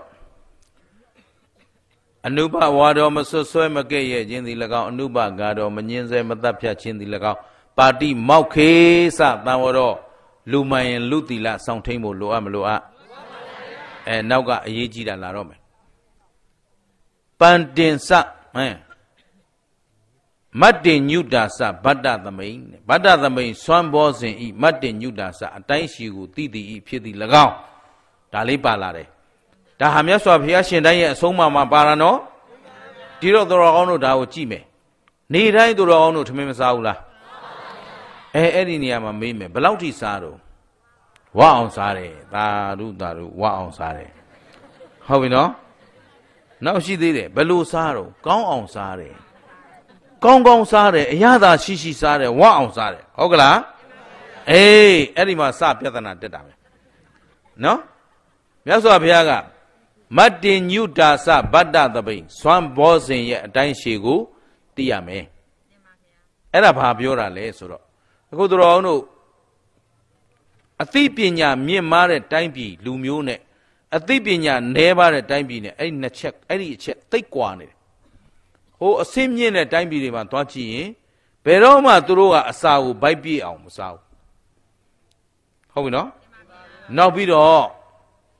ကိုယ်ခန္ဓာကိုယ်ကိုအန္တရာယ်ဖြစ်စေမဲ့အစာမစားဘူးအဲ့တော့ तू ကစားကောင်းအောင်မစားဘူးအကျိုးစီအောင်စားတယ်အခုပညာနည်းတဲ့တိုင်းပြည်ဟာတွေကြတော့အချုံမုံလဲလာထားအချုံမုံအစင်မြေတော့အသားမုံလာထားဘာကြီးလာလာအခုတယုံမုံနေအန္တရာယ်ဖြစ်မှန်းသိတယ် ဒါပေမဲ့ဒီတယုံမုံကိုမက်မက်မောမောစားနေကြတယ်အဲ့ဒါဘာဖြစ်လို့လဲဆိုတော့ဘ ഹു တုဒမရှိဘူးပညာနည်းတယ်အဲ့တော့အစာစားတယ်ဆိုတာတကယ်တော့အာဟာရဖြစ်အောင်စားဘာဖြစ်အောင်စားမလဲအဲ့တော့အစာဘာအတွက်စားတာလဲလို့မေးရင်အာဟာရဖြစ်ဖို့ခမရတို့ကျတော့အရသာခံဖို့ဖြစ်နေတယ်စီးစိမ်ခံဖို့စားတယ်ဘိုက်ပြည့်အောင်စားတယ်ဘိုက်လည်းပြည့်ရောအင်းအင်းနဲ့အိတ်တယ် ဟုတ်ပြီနော်အဲ့ဒါဘာလဲဆိုတော့အစာဒီမှာကြည့်အစာကိုဘိုက်ပြည့်အောင်စားတဲ့အပြစ်အရင်ပြောမယ်အစာအဝဘိုက်ပြည့်အောင်စားလိုက်တယ်ဆိုဘိုက်ဆိုတာခင်ဗျားတို့ဘိုက်ကြီးပြောပေမဲ့တကယ်သူတော်တို့ဗဇက်ကစားလိုက်တဲ့စာအရင်ဆုံးရောက်တာအစာအိမ်ထဲကိုရောက်ဘယ်တဲ့ကိုရောက်တယ်အစာအိမ်ဆိုတာဟောဒီဘယ်ဘက်အဆုပ်ဘယ်ဘက်ရင်အုံရဲ့အောက်နားလေးမှာနှလုံးအိမ်ရှိပါတယ်ဘုဥဒုမင်္ဂလာအနံရိုးကျိုးနေတာအဲ့ဒီနှလုံးအိမ်နားမှာကျိုးနေတာ အဲ့ဒီနှလုံးအိမ်ရဲ့အောက်နားလေးမှာအစာအိမ်ရှိပါတယ်အဲ့တော့အဲ့ဒီအစာအိမ်တဲကိုအစာပြည့်အောင်စားလိုက်တဲ့ကအစာအိမ်ကအလွန်မင်းဖောင်းကားသွားတယ်ဟုတ်ပြီနော်အဲ့တော့အဲ့ဒီအစာအိမ်အစာကြေချက်တဲ့ digestion system အဲ့တော့ဒီဘိုးလိုလေးတွေနည်းနည်းထည့်ပြောတာကိုသိခံပေးပါနော်လူငယ်ပိုင်းနေနားလည်အောင်စိတ်ဝင်စားအောင်ရွတ်ဆောင်ပေးရခြင်းဖြစ်ပါတယ်နော်တချို့စကားလုံးတွေကြတော့လေဘိုးလိုပြောလိုက်ရတာတဲ့ရှင်းတယ် ဗမာလူကတော်တော်ဝေ့နေတာကိုဟုတ်ပြီနော်အဲ့တော့ဘိုးလိုကတော့ toilet လို့ရေးသားရင်ဒါအိမ်သာမှန်းသိတယ်ဗမာကနောက်ဖေးသွားခြင်းနဲ့ဆိုတော့ဘာလို့မှမသိဘူးသဘောပါသလားကဲထားပါတော့အဲ့တော့အခု digestion system ဆိုတာအစာကြည်ချက်မှုစနစ်မှာအစာအိမ်ထဲကိုရောက်လာတဲ့အစာကိုအစာအိမ်ကသူ့ကြွက်သားတွေနဲ့ညှိရတယ် ညှစ်လိုက်တော့ကြံကိုညှစ်ရင်ဘာထွက်တော့အဲ့လိုပဲအစာတွေကိုညှစ်လိုက်တော့အရေထွက်လာတယ်နော်တော်တော်ကောင်းတို့ဗိုက်ထဲကိုရောက်သားတဲ့အစာဒီကြိုက်တာအစာဂလူးကို့စ်ဖြစ်သွားပါတယ်အဲ့ဒီဂလူးကို့စ်တကြားဓာတ်အဲ့ဒီတကြားဓာတ်ကိုခြေဖြတ်ရပါတယ်ကဲထားလိုက်တော့အဲ့တော့အစာကိုညှစ်လိုက်တဲ့အခါမှာထွက်လာတဲ့အရေဟာအစာအိမ်နိုင်ရန်ကနေစုပ်ယူပြီးတော့အသေးစီကိုပို့ပါတယ်အဲ့ဒီအသေးကနေပြီးတော့အစာအိမ်ဒီခန္ဓာကိုယ်အတွက်လိုအပ်တဲ့ဗိုက်တာမင်တွေ ကယ်လိုရီဓာတ်တွေကိုအသေးက absorb စုပ်ယူတယ်စုပ်ယူပြီးသွေးကြောမတွေကိုထည့်ပေးတယ်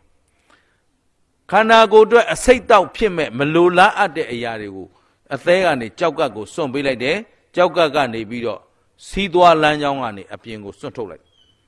ဟုတ်ပြီနော်ဒါအရေးအဖက်ကတော့ဘယ်နာသွားတယ်ခင်ဗျားတို့သိပြီးသားသဘောပါပြီလားအေးအဲ့ဒီမှာနော် အစာအိမ်ထဲကိုဘိုက်ကိုပြည့်အောင်စားထားတော့အစာအိမ်ကြီးကအလွန်မင်းဖောင်းကားနေတော့သူ့မှာညှစ်နိုင်စွာမရှိတော့အဲ့တော့မညှစ်နိုင်တော့ဒီအစာတွေဒီတိုင်းထားရင်လည်းပုတ်ကုန်ပါပုတ်ကုန်ရင်နင်တို့အကုန်သေးတော့ခေါ်မယ်အဲ့တော့ခန္ဓာကိုယ်ရဲ့ဗေဒအရာခန္ဓာကိုယ်အစိတ်တောက်ဖြစ်မှာကိုအန္တရာယ်ဖြစ်မှာကိုလက်မခံတော့ तू ကအစာမြန်မြန်ကြည်အောင်ဆိုပြီးအစာအိမ်ထဲကလည်းရှိသမျှအရည်တွေအကုန်ထုတ်ရတယ်အသေးကလည်းအစာချေရည်တွေပြန်ပို့ပေးရတယ်သူစီယူရမယ်စာ तू ကပြန်ပို့ပေးရတယ် ဟုတ်ပြီနော်ကျန်တဲ့ကလေးစားအားလုံးကအရည်တွေသူ့ထဲထုတ်ပြီးဒီအစာကိုမကြည်ကြည်အောင်လုံးပန်းလိုက်ရတဲ့ခါကျတော့ခန္ဓာကိုယ်အတွက်လိုအပ်တာမယူနိုင်တဲ့အပြင်ခန္ဓာကိုယ်ထဲကဓာတ်တွေပါပါသွားတဲ့အတွက်စီးကြိုဖြစ်လာတယ်အသေးအစီဖုံးလာတယ်သွေးကြောအစီပိတ်လာတယ်သွေးတိုးယောဂဖြစ်လာတယ်နှလုံးယောဂဖြစ်လာတယ်အခုအရွယ်မတိုင်ခင်ယောဂများပြီးမြန်မာတွေသေးသေးလေးရခိုင်နေမပြောဘူးနော်ဗမာတွေသေးသေးလေးကြံတော့တာအဲ့ဒီအစာမစားတတ်တဲ့အပြစ် ရှင်းမလားကာယဗလမရှိတော့စိတ်တဗလအရင်ဆုံးစိတ်ခွန်အားတွေရော့ရောက်လာတယ်ဟမ်ဟိုဟာလည်းမမနိုင်ဘူးဒါလည်းမသေးခြင်းဘူးလမ်းကိုကောင်းကောင်းမလျှောက်ခြင်းဘူးလာဘုံကသဘောပါလားကာယဗလာမရှိတော့စိတ်ဓာဗလာမရှိဘူးစိတ်ဓာဗလာမရှိတော့ညာနာဗလာတွေပျက်စီးသွားတယ်အဲ့ဒါကြောင့်တဖြည်းဖြည်းဆုပ်ယုပ်တဲ့တိုင်းပြည်ကြီးဖြစ်လာရှင်းမလား ဒါဖြင့်ဒီအဆုံးအမတွေကဘယ်သူပေးခဲ့တာလဲလွန်ခဲ့တဲ့နှစ်ပေါင်း2600ကပြောခဲ့တဲ့စကားအဲ့ဒီဘာသာကိုကိုးကွယ်နေတဲ့ဒီနိုင်ငံကဒီအသိမရှိဘူးဟုတ်ပလားငယ်ငယ်တည်းကဦးဇင်းတို့ခမဲတော်မယ်တော့အာဟာရဖြစ်အောင်စားလို့မပြောဘူးဝအောင်စားငါသားဝဗလားတော်ဗလားဝအောင်စားသူ့မင်္ဂလာတို့ညီကိုနှစ်ယောက်တည်းဆန်ချောက်လုံးချက်ကုန်မနေ့ကဟောသွားတဲ့ညီတော်မောင်ရသူ့မင်္ဂလာရဲ့ နော်မိသားစု6ယောက်ရှိတာစံ6လုံးချက်ထားတာ2ယောက်ထက်စားတာကိုဝအောင်စားလို့ပြောတာဟုတ်အဲ့တော့သူမင်္ဂလာအခု48နှစ်စီးကြိုယောဂဖြစ်နေပြီသဘောပါလားအလုံးကြည်ရတယ်နော်ဒါဖြင့်အစာရဲ့အတိုင်းရှည်ကိုသိရမယ်လိုအပ်မလိုအပ်အဲ့တော့အစာကိုဘာအတွက်စားမလဲအာဟာရဖြစ်အောင်စား အဲ့တော့တပည့်တော်တို့ဘယ်လိုစစားရမလဲဆိုရင်အကြံဉာဏ်ပေးခဲ့မယ်လောက်တာမလောက်တာနင်တို့အပိုင်းဒီနေ့ကိုဘယ်နှနတ်စားတော့အ ਨੇ ဆုံးနတ်နတ်နဲ့သုံးနတ်ချားမှစားတယ်ဟုတ်တယ်နော်တခါစားရင်ဘယ်နှပကံစားလဲကိုယ်အတိုင်းရှင်နဲ့ကိုပေါ့နော်အဲ့တော့အခုအဝစားတဲ့အတိုင်းရှင်ကအလွယ်ဆုံးဥပမာပေးမယ်သုံးပကံစားမှဝတာဆိုရင်မနေ့ဖြန်ကစပြီးတော့ သုံးပုံတစ်ပုံပဲစားရမှာဖြစ်တဲ့အတွက်တပကံပဲစားပါအော်တပကံကိုသုံးပကံစာထည့်ပြီးတော့မစားနဲ့ပေါ့ကွယ်အဲ့တော့အစာကိုဘယ်လောက်ထိရှော့ချလိုက်ရမလဲသုံးပုံတစ်ပုံပြန်ပြောအစာကိုဘယ်အတွက်စားမလဲအဲအစာစားပြီးရင်လမ်းဆန်းနေရမယ်အဲ့တော့တော်တော်တို့သတိထားရမှာက အစာအစာအိမ်ကဘိုက်ပြည့်ပြီးသူ့ထဲမှာမဆန်းတော့ဘူးလို့အုံနောက်ကိုအတိပေးတဲ့အချိန်က9မိနစ်နောက်ကြတယ်တဲ့အဲ့တော့တော်ကောင်းတို့ဘိုက်ပြည့်ပြီးလို့သိတဲ့အချိန်မှာဟိုမှာ over site ဖြစ်နေပြီလွန်သွားပြီသဘောပါသလားအဲ့ဒါဟာအနာယောဂများခြင်းရဲ့အဓိကအကြောင်းရင်းဖြစ်တဲ့အတွက်သူတော်ကောင်းတို့ဒီအစာကိုဘယ်လောက်ပဲစားမလဲသုံးပုံတစ်ပုံစားခြင်းဖြင့်ရှေ့မှာလေ့ကျင့်မှာအာဟာရဖြစ်အောင်စားပါဘယ်လိုစားမလဲဘယ်သူဆုံးမလဲ ဥတုမင်္ဂလာအဆုံးမလားအဲဒါလေးလည်းသိချင်မှတ်ထားအောင်တော့အဲ့တော့ခုနအာမဘန်းဒီဆိုခိုင်းတယ်လို့အာမဘန်းဒီကဥတုမင်္ဂလာအကြိုက်မဟုတ်ဘူးခမရတို့လုံနေတာကိုကတောင်းတာအဟံဘန်းဒီတိတရဏိတာသဟဆိုပြီးပါဠိလိုမတောင်းဘူးလားတောင်းတဲ့ထဲမှာဗမာလိုပါလားမပါဆိုရက်ခိုင်းလို့ဟောမပါပါဘူးပါဠိလိုတောင်းလို့ဒီကပါဠိလိုရမဟာမောရမိတံဝရေထလို့ပြန်ပြောတာအဲ့ဒါကိုရှာရှည်ပြီးတော့အာမဘန်းဒီဘာအရှင်ဖေယဘာဤရှင်ဖေယ အာမဘန်းတွေကပါဠိလိုဘာအရှင်ဘုရားဗမာလိုကဗျာဖြစ်နေပြီဟုတ်ပလားအဲ့တော့အာမဘန်းတေဆိုရင်ပြည့်စုံနေပြီဟုတ်ပြီနော်ဘာအရှင်ဘုရားဘာဤရှင်ဘုရားထဲ့ဆိုစရာမလိုခင်ဗျားတို့ကရိုးသေးအောင်ဆိုပြီးထဲ့ဆိုပေမဲ့တယောသလိုဖြစ်နေတယ်အဲ့ဒါကြောင့်မို့ဒီလူတွေဘူးမသိဘာမသိလုံနေတာပဲဆိုပညာတတ်တွေကသိတယ်ဘာသာကြားတွေကိုထင်မသိနဲ့သူတို့ကအကုန်လေ့လာထားတယ်သိတယ်မသိတာနင်တို့ပဲရှင်းပြီနော် ဒါပြင်ဥတုမင်္ဂလာအကြိုက်ပြင်လိုက်ရတာလားပြင်သင်းလို့ပြင်ရတာလားဒီလိုလဲမှတ်ထားနော်ပုဂ္ဂလဒိဋ္ဌာနဲ့သူမင်္ဂလာလှဲ့တရားဟောနေတာမဟုတ်ဘူးဟုတ်ပြီနော်ကဲကောင်းပြီအဲ့တော့အခုဩဝါဒပါတိမောက်လေးပြီးအောင်သွားမယ်အစာရဲ့အတိုင်းရှည်ကိုသိရမယ်အစာကိုဘာအတွက်စားမလဲအလုံးမမိပြီနော်နောက်ဆုံးတစ်ချက်ပန်တင်စတယနာတဏံစိတ်ငြိမ်ရာမှာနေရမယ်တဲ့ဘယ်မှာနေရမလဲ စိတ်ညင်ရဆိုတာမနဲ့အေးရထဖရာကြောမေတ္တာပို့မလုပ်အောင်လားအဲအဲ့ဒီချိန်လဲအာယုံမများနဲ့တဲ့နောက်ညနေအေးရဝင်နော်ကိုရီးယားကလေးကြည့်ပြီးမိမတွေကကိုရီးယားကစောင့်ကြည့်အိတ်ယောက်ျားတွေကလည်းချောင်းနေတယ်ကိုရီးယားကအပီးမလာမလို့ဘောလုံးမွဲဟုတ်ဘူးလားတညလုံးထိုင်ဆဲတဏီကုံအိတ်ကုသိုလ်လားအကုသိုလ်လား အင်္ဂလန်ကမန်ချက်စတာကနံပါတ်ဘယ်လောက်ရောက်သွားပြီနော်ဘယ်သူကဘယ်နှကိုးသွင်းတာဆိုတော့သူ့အိမ်ကထမင်းစားစရာမရှိဘူးဟုတ်ပလားတို့ကတော့သူ့မင်္ဂလာတို့ကတော့အမှတ်တေးကြီးတဲ့ကောင်ဆိုတော့ထာဝရယံသူကိုဘယ်တော့မှမမေ့ဘူးဒီအင်္ဂလိပ်လုတ်သွားလို့ဗမာတပြည်လုံးဒီနေ့အထိနော်ဖယိုဖယဲနဲ့ ဒုက္ခမျိုးစုံရောက်နေတာကိုသူတို့ကပရိမီယာအားပေးလို့မပြီးနိုင်ဘူးတော်တော်ကျွန်းစိတ်မပြောက်တဲ့ဟာတွေသဘောပါလားတို့ကတော့ဘုံရန်သူနဲ့ဘယ်တော့မှလက်မတွဲဘူးရန်သူဟာရန်သူပဲဘယ်တော့မှမိတ်ဆွေဖြစ်လာစရာအကြောင်းမရှိဘူးကျင်တယ်နော်အဲ့တော့စိတ်ငြိမ်ရာမှာနေရမယ်အဲ့တော့လောဘဒေါသမောဟတွေဖြစ်နေရင်ကုသိုလ်လားအကုသိုလ်လားမြတ်သလားရှုံးသလားကဲနောက်ဆုံးတစ်ချက် အဓိစိတ်ဒေသအာယောကောစိတ်ကိုအစိုးရအောင်ကြိုးစားပါတဲ့မလို့ရမယ်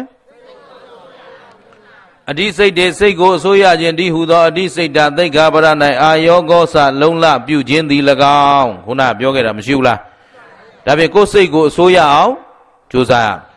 ကဲတော့စိတ်ကိုအစိုးရတယ်ဆိုတာဘယ်လိုမျိုးလဲ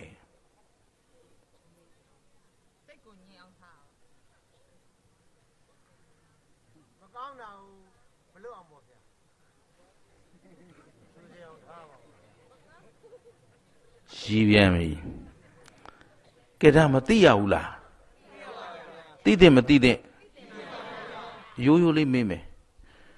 ကိုယ်စိတ်ကိုအစိုးရတဲ့လူနဲ့အစိုးမရတဲ့လူဘယ်သူကမြတ်လဲဟုတ်ပြီကိုယ်စိတ်ကိုအစိုးရတဲ့လူနဲ့အစိုးမရတဲ့လူဘယ်သူကချမ်းသာလဲဒါဖြင့်စိတ်ကိုအစိုးရတယ်ဆိုတာဘယ်လိုမျိုးတော့ ကိုယ်စိတ်ကိုထုံးမာတာသူ့အောင်စိတ်ကိုတည်ငြိမ်အောင် သမားကြီးကိုပြန်ပြည့်စုံပါဘူး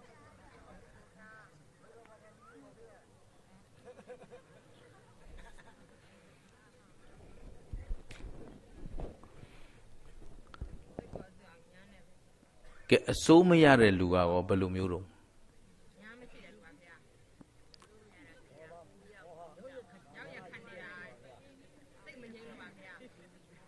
စိတ်မငြိမ်တာညာနဲ့မထိတ်လို့ပါဗျာ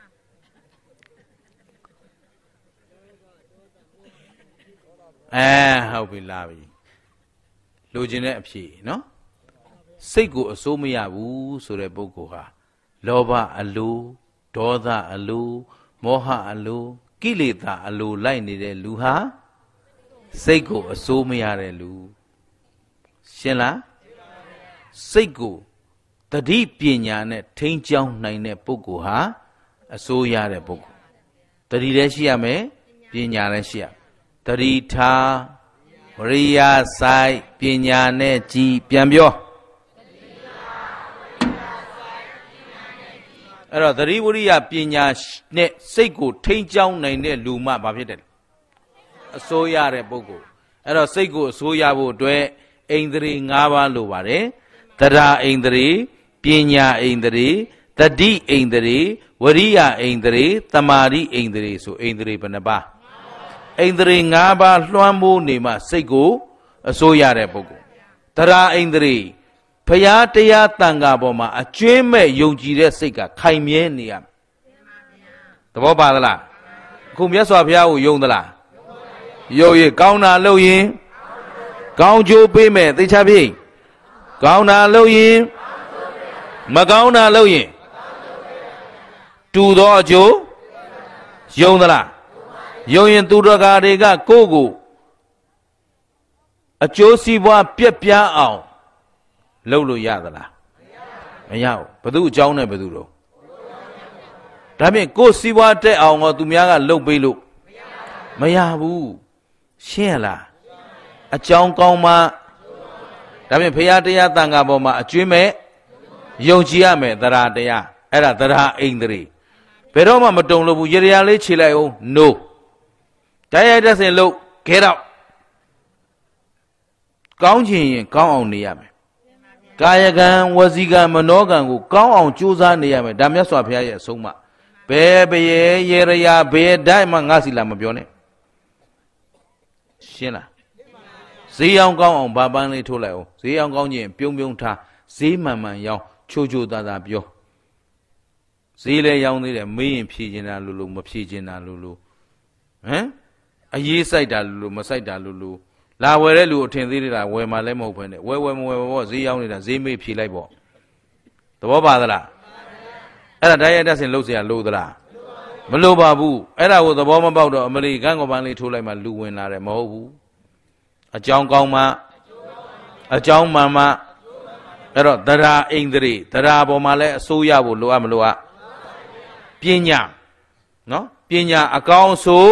အကြောင်းအကျိုးအမှားအမှန်ဝေဖန်ပိုင်းခြားနိုင်တဲ့ပညာရောရှိဖို့လိုအပ်မလိုအပ်ပညာမရှိဘဲနဲ့ကိုယ်စိတ်ကိုအစိုးရပါမလားစိတ်ကိုအစိုးရတယ်ဆိုတာကိုယ်ဆုံးဖြတ်ချက်နဲ့ကိုယ်မရှိဘူးသူများပြောဟိုလူကဒါပြောအင်းပါဝါဒီလူကဒါပြောအင်းပါဝါအဲ့ဒါပညာမရှိတဲ့ပုံကိုယ်တွေရှင်းမလားဒါဖြင့်စိတ်ကိုအစိုးရဖို့လိုအပ်မလိုအပ်ကဲကောင်းပြီအဲ့ဒါဘသူရဲ့အဆုံးမလဲအေးအနစ်ချုပ်ပြောလိုက်ရင်မကောင်းမှုမှန်သမျှ မလောက်ကြနဲ့ကောင်းမှုမှန်သမျှပြည့်စုံအောင်လုပ်ပြန်ပြောကောင်းမှုမှန်သမျှမကောင်းမှုမှန်သမျှမလောက်ကြနဲ့ကောင်းမှုမှန်သမျှစိတ်ကိုဖြူအောင်ထားရမယ်ဘာကိုသိခံရမလဲဘယ်လိုသိခံရမှာလဲ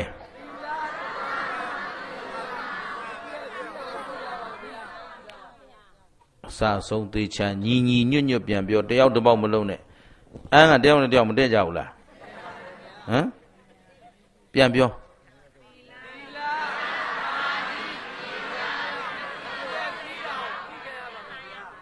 မမီပြီနော်ဘယ်လောက်ထိသိခံမလဲတာရုတာရုတာရုအဲ့တော့ကိလေသာငြိမ်းအေးတဲ့နိဗ္ဗာန်ထက်မြတ်တာအဲ့တော့ကိလေသာငြိမ်းအေးနိုင်မှုအတွက်သူများအသက်ကို သူတစ်ပါးကိုစိတ်ဆင်းရဲအောင်ဟုတ်ပြီသူတစ်ပါးကိုဆွဆွဲကြဲ့ရဲ့ခြင်းညှဉ်းပန်းနှိပ်စက်ခြင်းတိလသမารိကာယကဝစီကမနောကလုံခြုံအောင်စောင့်ထိန်ဖို့လိုအပ်မလိုအပ်အဲဒါမြတ်စွာဘုရားရှင်ရဲ့အဆုံးအမနောက်အစာရဲ့အတိုင်းရှည်ကိုသိရမယ်အစာကိုဘာဖြစ်အောင်စားမယ်။အိုးသာရုသာရုမှတ်ထားတာပဲ။နောက်အာယုံများရလိုက်ရှာမလားအာယုံစိတ်ညင်ရမှာနေရမလား။ ဟုတ်ပြီ။နောက်ဆုံးတစ်ချက်ကစိတ်ကိုအစိုးရအောင်။ဘာလဲလဲ။အစိုးရအောင်အဓိသီလအဓိစိတ်ဓာတ်အဓိသမာဓိဆိုတဲ့ခိုင်မြဲတဲ့တမာဓိပိုင်ရှင်တွေဖြစ်အောင်ကြိုးစားပါလို့ဘသူကဆုံးမသလဲ။ကျင်တ်သလား။အဲ့တော့မြတ်စွာဘုရားအဆုံးအမတိုင်းသာနေမယ်ဆိုရင်ဘယ်ရောက်မလို့နိဗ္ဗာန်ရောက်မယ်ဆိုရင်နိဗ္ဗာန်ရောက်တဲ့ပုဂ္ဂိုလ်ဟာဒီတန်တရားဒုက္ခတွေခံစားစရာအကြောင်းရှိတော့ အခုတော့ခင်ဗျားတို့တန်တရားဘေးကလွတ်ပြီလားအခုတန်တရားဘေးတွေရှိမရှိအေးအဲ့ဒီအတွက်ဦးဇင်းကဟောမဲ့တရားအခုထိမစရသေးဘူးဟမ်9နာရီတော့ခွဲသွားပြီစလို့ရပါဦးမလားနည်းနည်းစတာပေါ့နော်အဲ့တော့တရားကောင်းစဉ်ကအခုမှပေးရမယ်ခေါင်းစဉ်စောင့်နေတဲ့လူတွေလည်းဥစဉ်ကိုခွန့်လွတ်ပေးပါဘာဖြစ်လို့လဲဆိုတော့ရှေ့မှာဏိဒန်းပြိုးနေရလို့အလုံးသိတဲ့အတိုင်းပဲเนาะ အဲ့တော့ဒီပါတိမောက်မှမသိရင်သူတော်ကောင်းတို့ဗုဒ္ဓဘာသာလို့ပြောလို့မရဘူးအဲ့တော့အခုအဆုံးမတွေအားလုံးကြင့်ဖို့လိုအပ်မလိုအပ်နက်ဖြန်တစ်ခေါက်ထပ်ပြောမှာနော်အဲ့တော့အားလုံးမှတ်ထားဖို့အဲ့တော့မှတ်ထားပြီးတော့သိအောင်လုပ်သိပြီးတော့သိတဲ့အတိုင်းကျင့်တဲ့တော့အဲမနေ့ပြန်ကြတော့အစာကိုဘလို့စားခဲ့သလဲလို့မေးရင်အရာပြောင်စားခဲ့တယ်ဘလောက်စားခဲ့ကြတော့ သုံးပုံတစ်ပုံပါပဲလို့ဟုတ်သည်ရှိမဟုတ်သည်ရှိဖြေပေါ့ကျင်တတ်တယ်နော်ကဲကောင်းပြီဟောမဲ့တရားကောင်းစဉ်ပေးမယ်တရားကောင်းစဉ်ကမုတ်ဆိုးနဲ့သားကောင်းတဲ့ဗါတယ်လေအလုံးမမိပြီနော်နှစ်ပြန်ပြန်မိမှဒီနေ့မပြီးဘူးဒီတရားအခုမှစရမှာဘာလဲလဲအဲမုတ်ဆိုးဆိုတာဘာလဲသိလား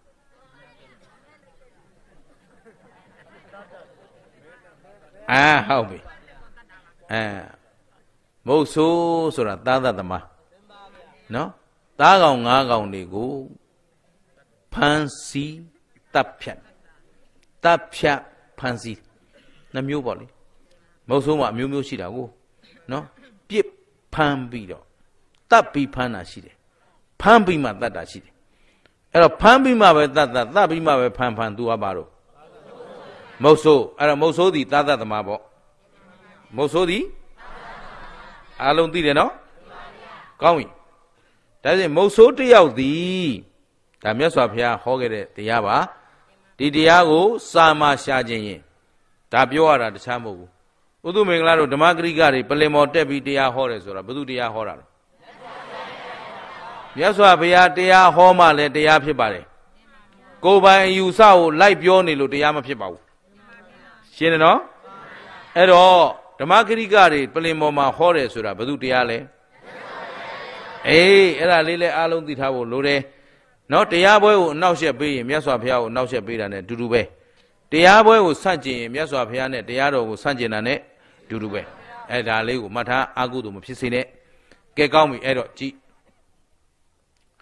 ဒီတရားကိုဘယ်မှာရှာမလဲဆိုရင် စာမှာရှာခြင်းတဲ့လူတွေအတွက် မူလပဏ္ဏသပါဠိတော်ပါဠိတော်ဆိုတာမြတ်စွာဘုရားရှင်ကိုတော်မြတ်ကြီးကိုယ်တိုင်ဟောခဲ့တဲ့တရားလို့ညွှန်းတယ်ဟုတ်ပြီနော်မူလပဏ္ဏသပါဠိတော်ဩပမ္မဝက်ဩပမ္မဆိုတာဩပမ္မဆိုတဲ့အပိုင်းအစုတွေစုထားတဲ့ဝက်ထဲမှာနိဝါပတုတ်ဆိုတာရှိတယ်ဟုတ်ပြီနော်နိဝါပဆိုတာမုတ်ဆိုးဆက်စိုက်ထားတဲ့မြက်ခင်းလေးလို့အဓိပ္ပာယ်ရတယ်ဟုတ်ပြီနော် ကဲကောင်းပြီအဲ့တော့အဲ့ဒီနိဝါပတုတ်ကိုဟောမှာဖြစ်ပါတယ်စာမှာအဲ့ဒီမှာရှာကြည့်ပါအဲ့တော့အခုတရားကောင်းစဉ်ကတော့ဗါလဲလေမုတ်ဆိုးတဲ့သားကောင်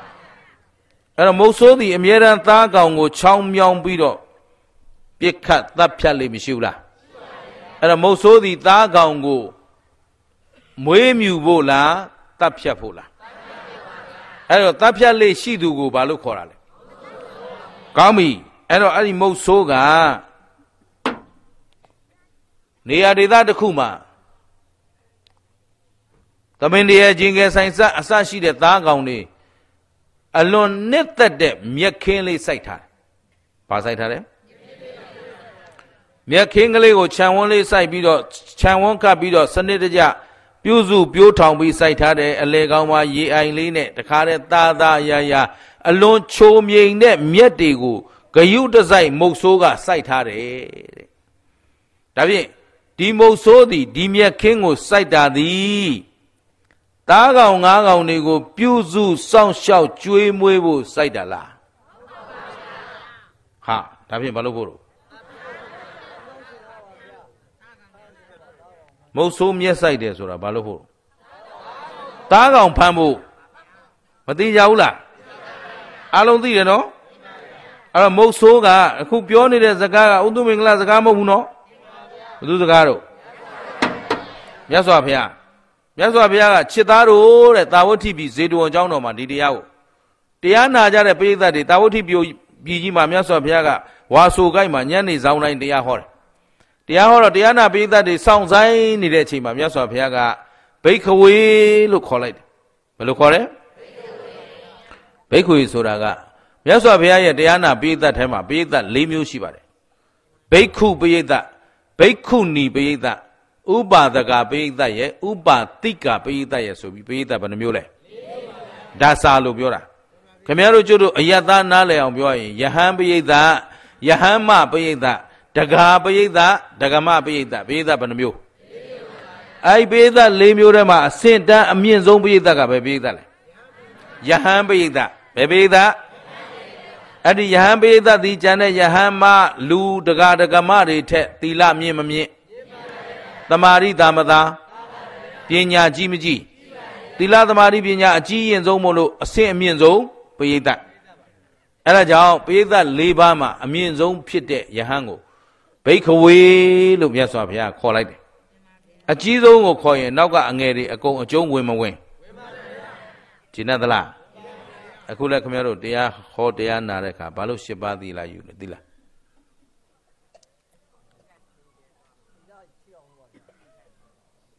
ငါးပါးသီလယူရင်ရောမရဘူးလားရှစ်ပါးဆိုတော့ရှင်ပြတပြည့်တို့ကထမင်းစားလာတာပြန်ရင်စားအောင်မှာစောရကတွေကတပုံကြီးဟုတ်ပြီနော်ခုကျုပ်တို့ပရိသတ်ထဲမှာကြတော့သီလယူမဲ့ပရိသတ်အတန်းစား၃မျိုးရှိတယ်တစ်ကရှစ်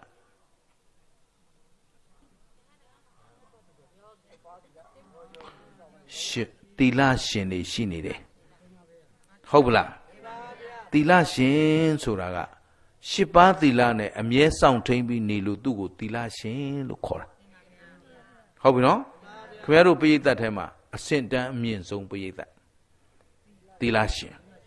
နောက်ရှစ်ပါးသီလနဲ့အမြဲနေတဲ့ယောဂီတွေမရှိဘူးလားအေးအဲ့ဒီသူတော်ကောင်းကြီးတွေကဥဆောင်ထားတဲ့တရားနာပရိသတ်ဖြစ်တဲ့တွေ့ အဲ့ဒီသီလရှင်တွေကခင်ဗျားတို့ယူမဲ့၅ပါးသီလကိုဆင်းယူလို့ဖြစ်ပါမလားဒါပေမဲ့ခင်ဗျားတို့ကရှစ်ပါးသီလတက်ယူလို့တော့ရနေတဲ့ဒါတထိုင်ဦးဇင်းကလည်းတထိုင်ပဲယီမမိပြေးတာခင်ဗျားတို့ကလည်းတထိုင်ပဲယီမမိယူတာတရားနာပြန်သွားရင်အလုံး၅ပါးသီလနဲ့ပြန်သွားမယ်သဘောပါသလားအဲ့ဒါဟောဒီမှာအစင့်မြင့်ဆုံးပရိသတ်ရှိနေတဲ့အတွက်အဲ့ဒီပရိသတ်ကိုငဲ့ညာသောအဖြစ်ဘယ်နှပါးသီလယူတော့ပဲကျင့်တတ်ပြီလား အဲမဟုတ်ရင်ဒီသီလယူတာကစစောရကတက်နေကြလွန်းလို့မတောက်တစ်ခေါက်ပညာလေးနဲ့နော်ဝေဖန်နေရင်အလကားအချိန်ကုန်တာပဲအဖတ်တင်တယ်နောက်မှတ်ထားအဲ့တော့ဘုရားကလည်းမြတ်စွာဘုရားကလည်းတရားဟောတော့မယ်ဆိုတော့ဘိခဝေဘိက္ခုနီဥပါဒကဥပါတိကတို့လို့ခေါ်ခေါ်ခေါ်နေကြလို့သလားအဲအဲ့ဒါပဲဘိခဝေယဟန်တို့လို့ခေါ်လိုက်တာ ਨੇ အားလုံးအကျုံးဝင်မိသားဖြစ်သွားပြီ အဲ့လိုခေါ်ရတာလည်းအကြောင်းရှိတယ်တဲ့ပရိသတ်၄ပါးကမြတ်စွာဘုရားတရားဟောမှာကိုငန့်လင်းပြီးတော့အားလုံးစောင့်ဆိုင်နေကြတယ်တချို့ကမြတ်စွာဘုရားအတန်တော်ကိုမျောနေတယ်တချို့ကကြတော့ကိုကြားနာမှုတဲ့တရားကိုတွေးတောနေတယ်တချို့ကသားရေးသမီးရေးစီးပွားရေးစဉ်းစားနေတယ်မျိုးစုံမရှိဘူးလားမြတ်စွာဘုရားမှကြွမလာသေးပဲကိုအကြွမလာသေးတော့အကုန်လုံးကိုယ်တွင်းနဲ့ကိုရှိနေတာကိုမြတ်စွာဘုရားကအာယုံစုစည်းတဲ့အနေနဲ့အတန်ပြုတ်လိုက်တယ်ဘိခဝေအမှတ်ချက်ပေးလိုက်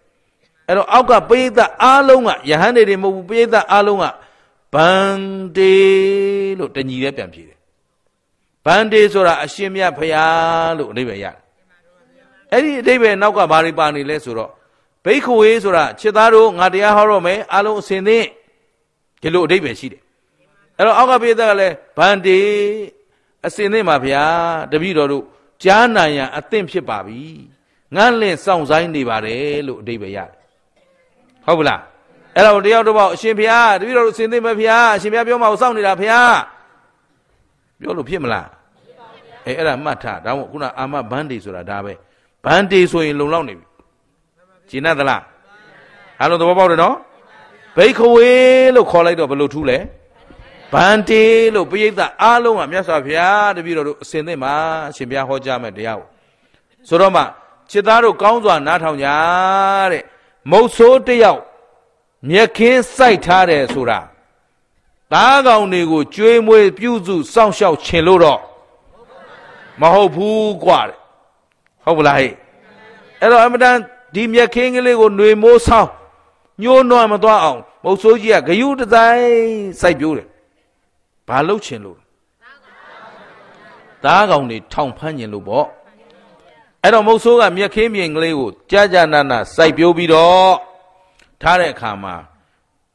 တောထဲမှာလဲ့လဲကြက်စားနေတဲ့ပထမသမင်တအုပ်ဘာတုပ်လဲ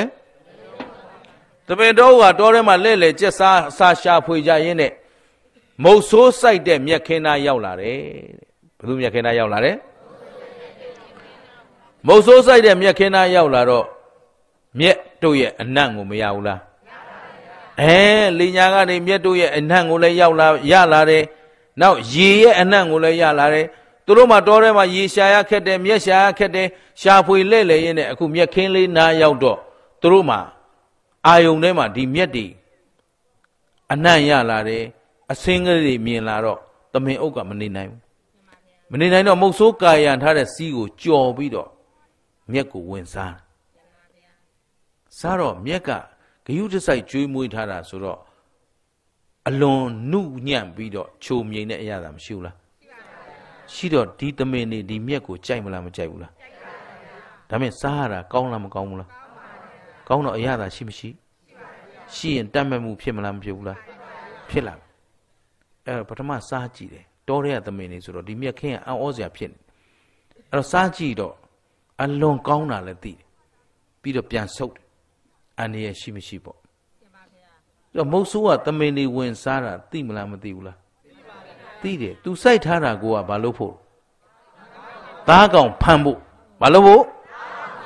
အဲ့တော့သားကောင်ဝင်လာတာ तू မသိဘူးလားသိပေမဲ့ပထမတည့်ရဲ့အရေးမလို့အရေးမလို့တော့ဒီကောင်တွေကဒီပင်တွေမြက်တွေစားရတာကောင်းမှန်သိနေနောက်တည့်ရက်သွေးတို့ဆန်းတယ် နည်းနည်းလေးရှေ့တိုးစားကြည့်တယ်ဘာအန်တည်းမှမရှိဘူး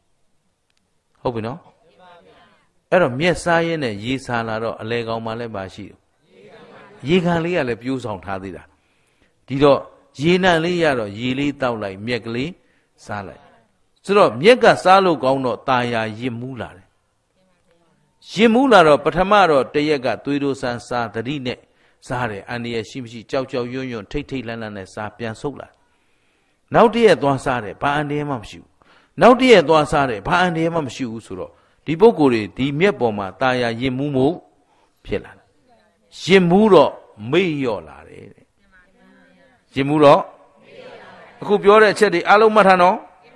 နဲ့ပြန်ကြတော့ဒါတွေကသူ့အတိတ်ပဲနဲ့သူလာမှာအဲ့တော့ပထမစမ်းသပ်စားစားတော့ရင်းနဲ့အရသာတွေ့ပြီးတော့ဘာဖြစ်လာတော့ ရင်မူးလာတယ်ပြန်ပြောဘာဖြစ်လာလဲရင်မူးသည့်နောက်အန္တရာယ်ရှိတယ်ရန်သူရှိတယ်ဆိုတာကိုဘာဖြစ်လဲမေ့လာတယ်မေ့လာတော့သမင်းနေလွတ်လွတ်လပ်လပ်ပဲစားလိုက်တောက်လိုက်အိတ်လိုက်ဟုတ်ကလား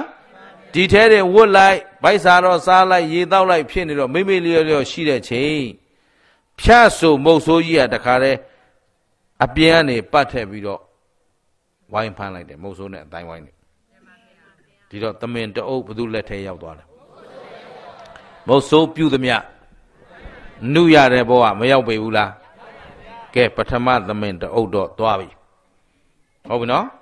အချိန်မရလို့အချိန်မရလို့နော်ဒုတိယသမင်အုပ်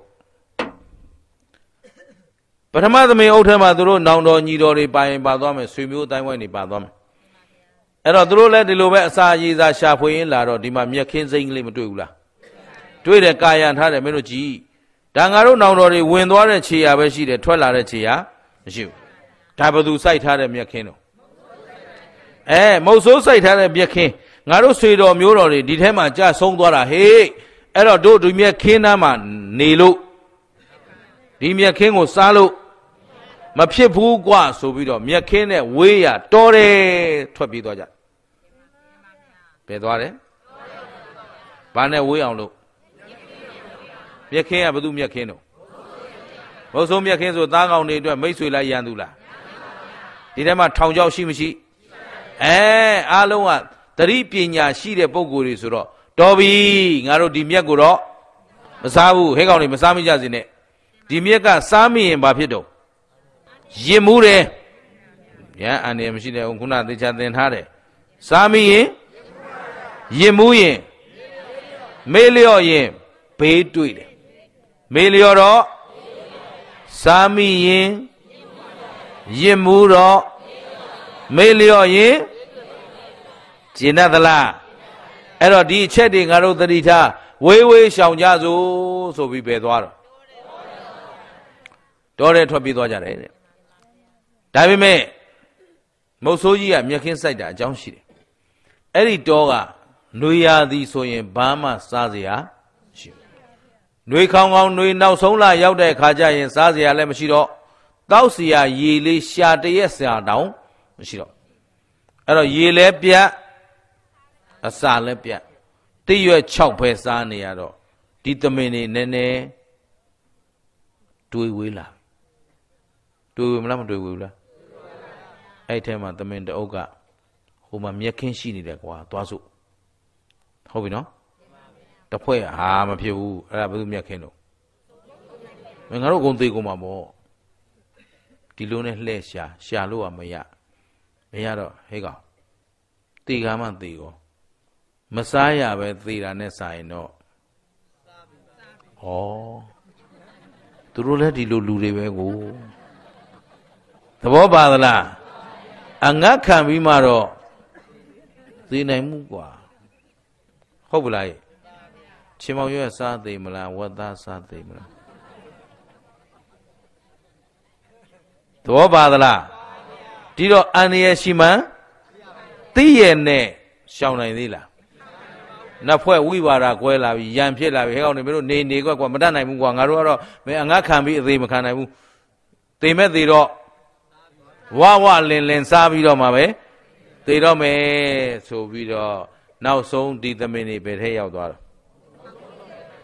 မြက်ခင်းတဲ့ခုနလိုပဲတရက်ဝင်စားနှစ်ရက်ဝင်စားသုံးရက်ဝင်စားစားပါများတော့ရင်မှုပြောပြောရင်မှုတော့မေ့တော့နောက်ဆုံးဘု து လက်ထဲရောက်သွားတယ်ကဲဒုတိယသမင်အုပ်ကောလွတ်သလားကဲလာပြီနောက်တစ်ဖွဲ့တတိယသမင်အုပ်ဘာလဲလဲ ဝင်စားတော့လေအဖမ်းခံဟုတ်တယ်နော်ထွက်ပြေးပြန်တော့လေမလွတ်ဘူးဟုတ်ကလားအဲ့တော့ဒီနားမှာစားစရာဆိုလို့ဒီမြက်ခင်းပဲရှိတယ်ဘယ်လိုလုပ်မလဲအဲ့တော့ငါတို့မုတ်ဆိုးမသိအောင်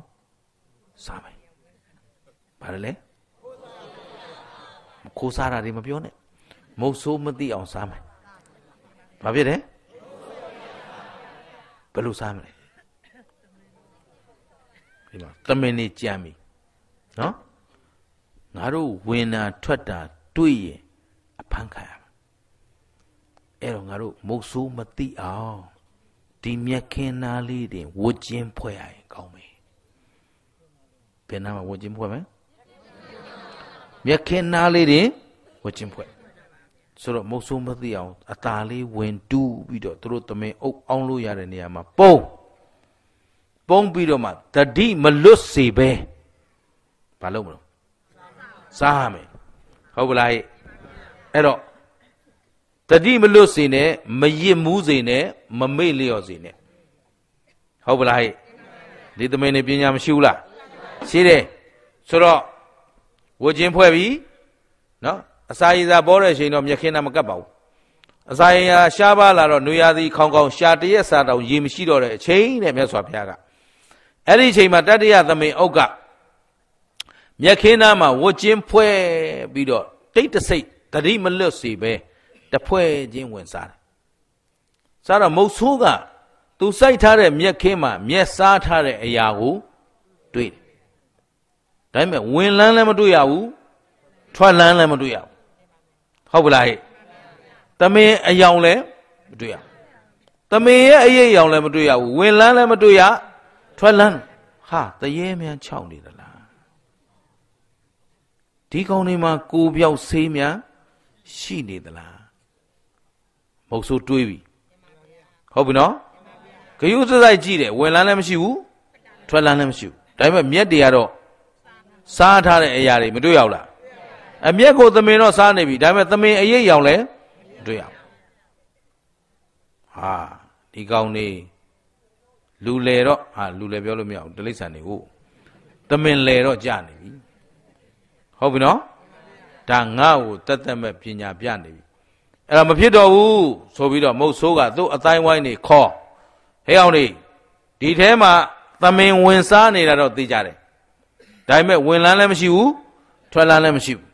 ဒီတော့ဒီသမင်တွေဟာကိုရောင်ဖြောက်တတ်သလားဘလူးတပတ်လားငါလည်းမပြောတတ်ဘူးအဲ့တော့ငါတို့ဒီလိုလုပ်အောင်ပိုက်ကွန်တွေလက်နဲ့တွေယူခဲ့ဝယူပြီးတော့ငါတို့ဝိုင်း6ပြီးဖိုင်းတော့ဒီသမင်တွေဘယ်လိုပဲဖြစ်ဖြစ်ထွက်လာမှာပဲရှင်းတယ်နော်အဲ့ဒါနဲ့မြက်ခင်းကိုတခါတဲ့မုတ်ဆိုးနဲ့တကသူ့ရဲ့အတိုင်းဝိုင်းတွေကဝိုင်းနေပြီးတော့ညာတန်ပေး6ပြီးတော့တန်ဖုံးတွေဘာတွေတီးပြီးတော့6လန့်ပြီးတော6ပြီးတော့ ပိုက်ကွန်တွေလက်နက်တွေနဲ့ဝိုင်းဖမ်းတော့ဘာဖြစ်သွားသူတို့ကဘယ်ထဲမှာနေတာလဲ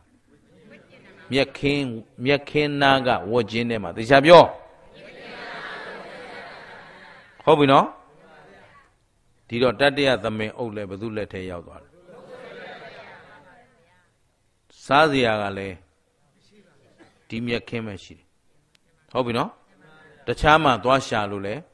မရဘူးဒါဖြင့်မစားဘဲနေလို့လည်းစားပြန်တော့လည်းဘသူရှိနေဒါဖြင့်စရုထသားကောင်တွေဘယ်လိုလွတ်အောင်စားကြမလဲနီလန်ရှိမရှိရှိပါအောင်မလားဟမ်ရှိမှာပါ ဒါဖြင့်အိမ်ကစဉ်းစားကြကြနော်။နဲ့ဖြန်ကြတော့ဘယ်လိုစားမလဲအဖြေပြန်ပေးပေါ့။ဟုတ်ပလား။အခုတော့သုံးပွဲလုံးဘသူလက်ထဲရောက်သွားတယ်။မစားလို့ကလည်းစားပြန်တော့လည်းဘသူရှိနေလဲ။ကျင်းတ်သလား။အဲ့တော့မုတ်ဆိုးလက်ထဲမှာမသေးရဘူးလား။သေးရတော့ငါတို့လွတ်အောင်ဘယ်လိုစားကြမလဲ ဟုတ်ပလားအဲ့ဒီအတွက်မုတ်ဆိုးနဲ့သားကောင်ဘယ်သူနိုင်မလဲမနဲ့ဖြန်မှာကြည့်ကြစို့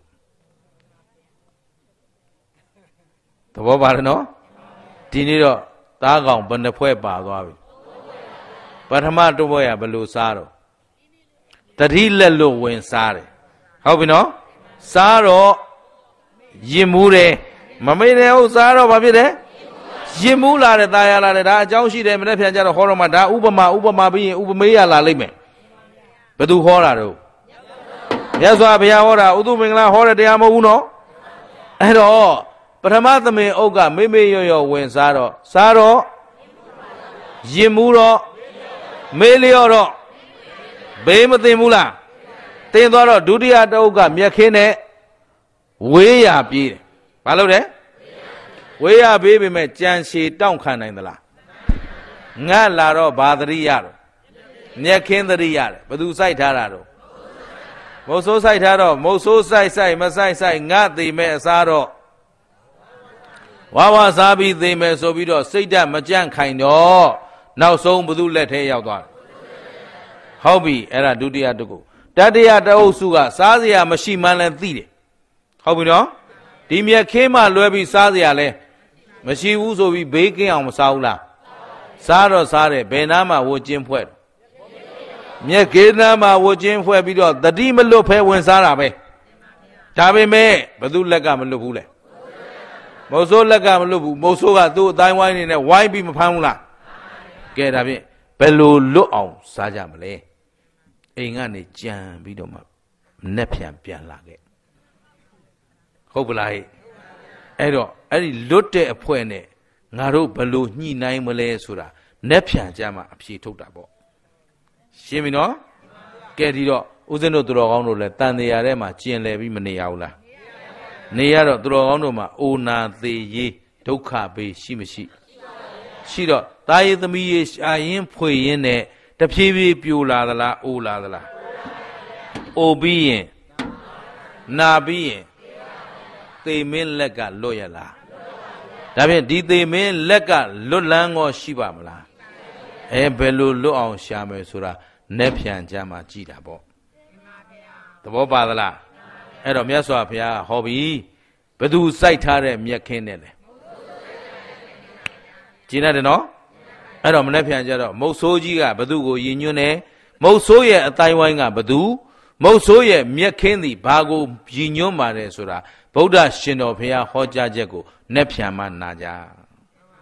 ဒီနေ့တော့တီးခံပြီးတော့ဘာကိုတီးခံကြမလဲဘယ်လိုတီးခံကြမလဲဩသာဓုသာဓုနှက်ဖြံမမေ့လိုက်နဲ့နော်ဘယ်လောက်ထိတီးခံမကောင်းမှုမှန်သမျှ ကောင်းမှုကုသိုလ်ကိုကျေးဇူးဘယ်တော့ပြည့်မှာလဲနိဗ္ဗာန်မရောက်မချင်းဒီအိုနာသေးရေးကလွတ်ပါမလားအဲ့တော့မုတ်ဆိုးကြီးကဘာတူလဲသူ့အဖွဲ့ကဘာလဲဟုတ်ပြီနော်ငါတို့စားနေတဲ့မြက်ခင်းလေးတွေကဘာကိုခေါ်တာလဲနဲ့ပြန်ကြမှာနာကြ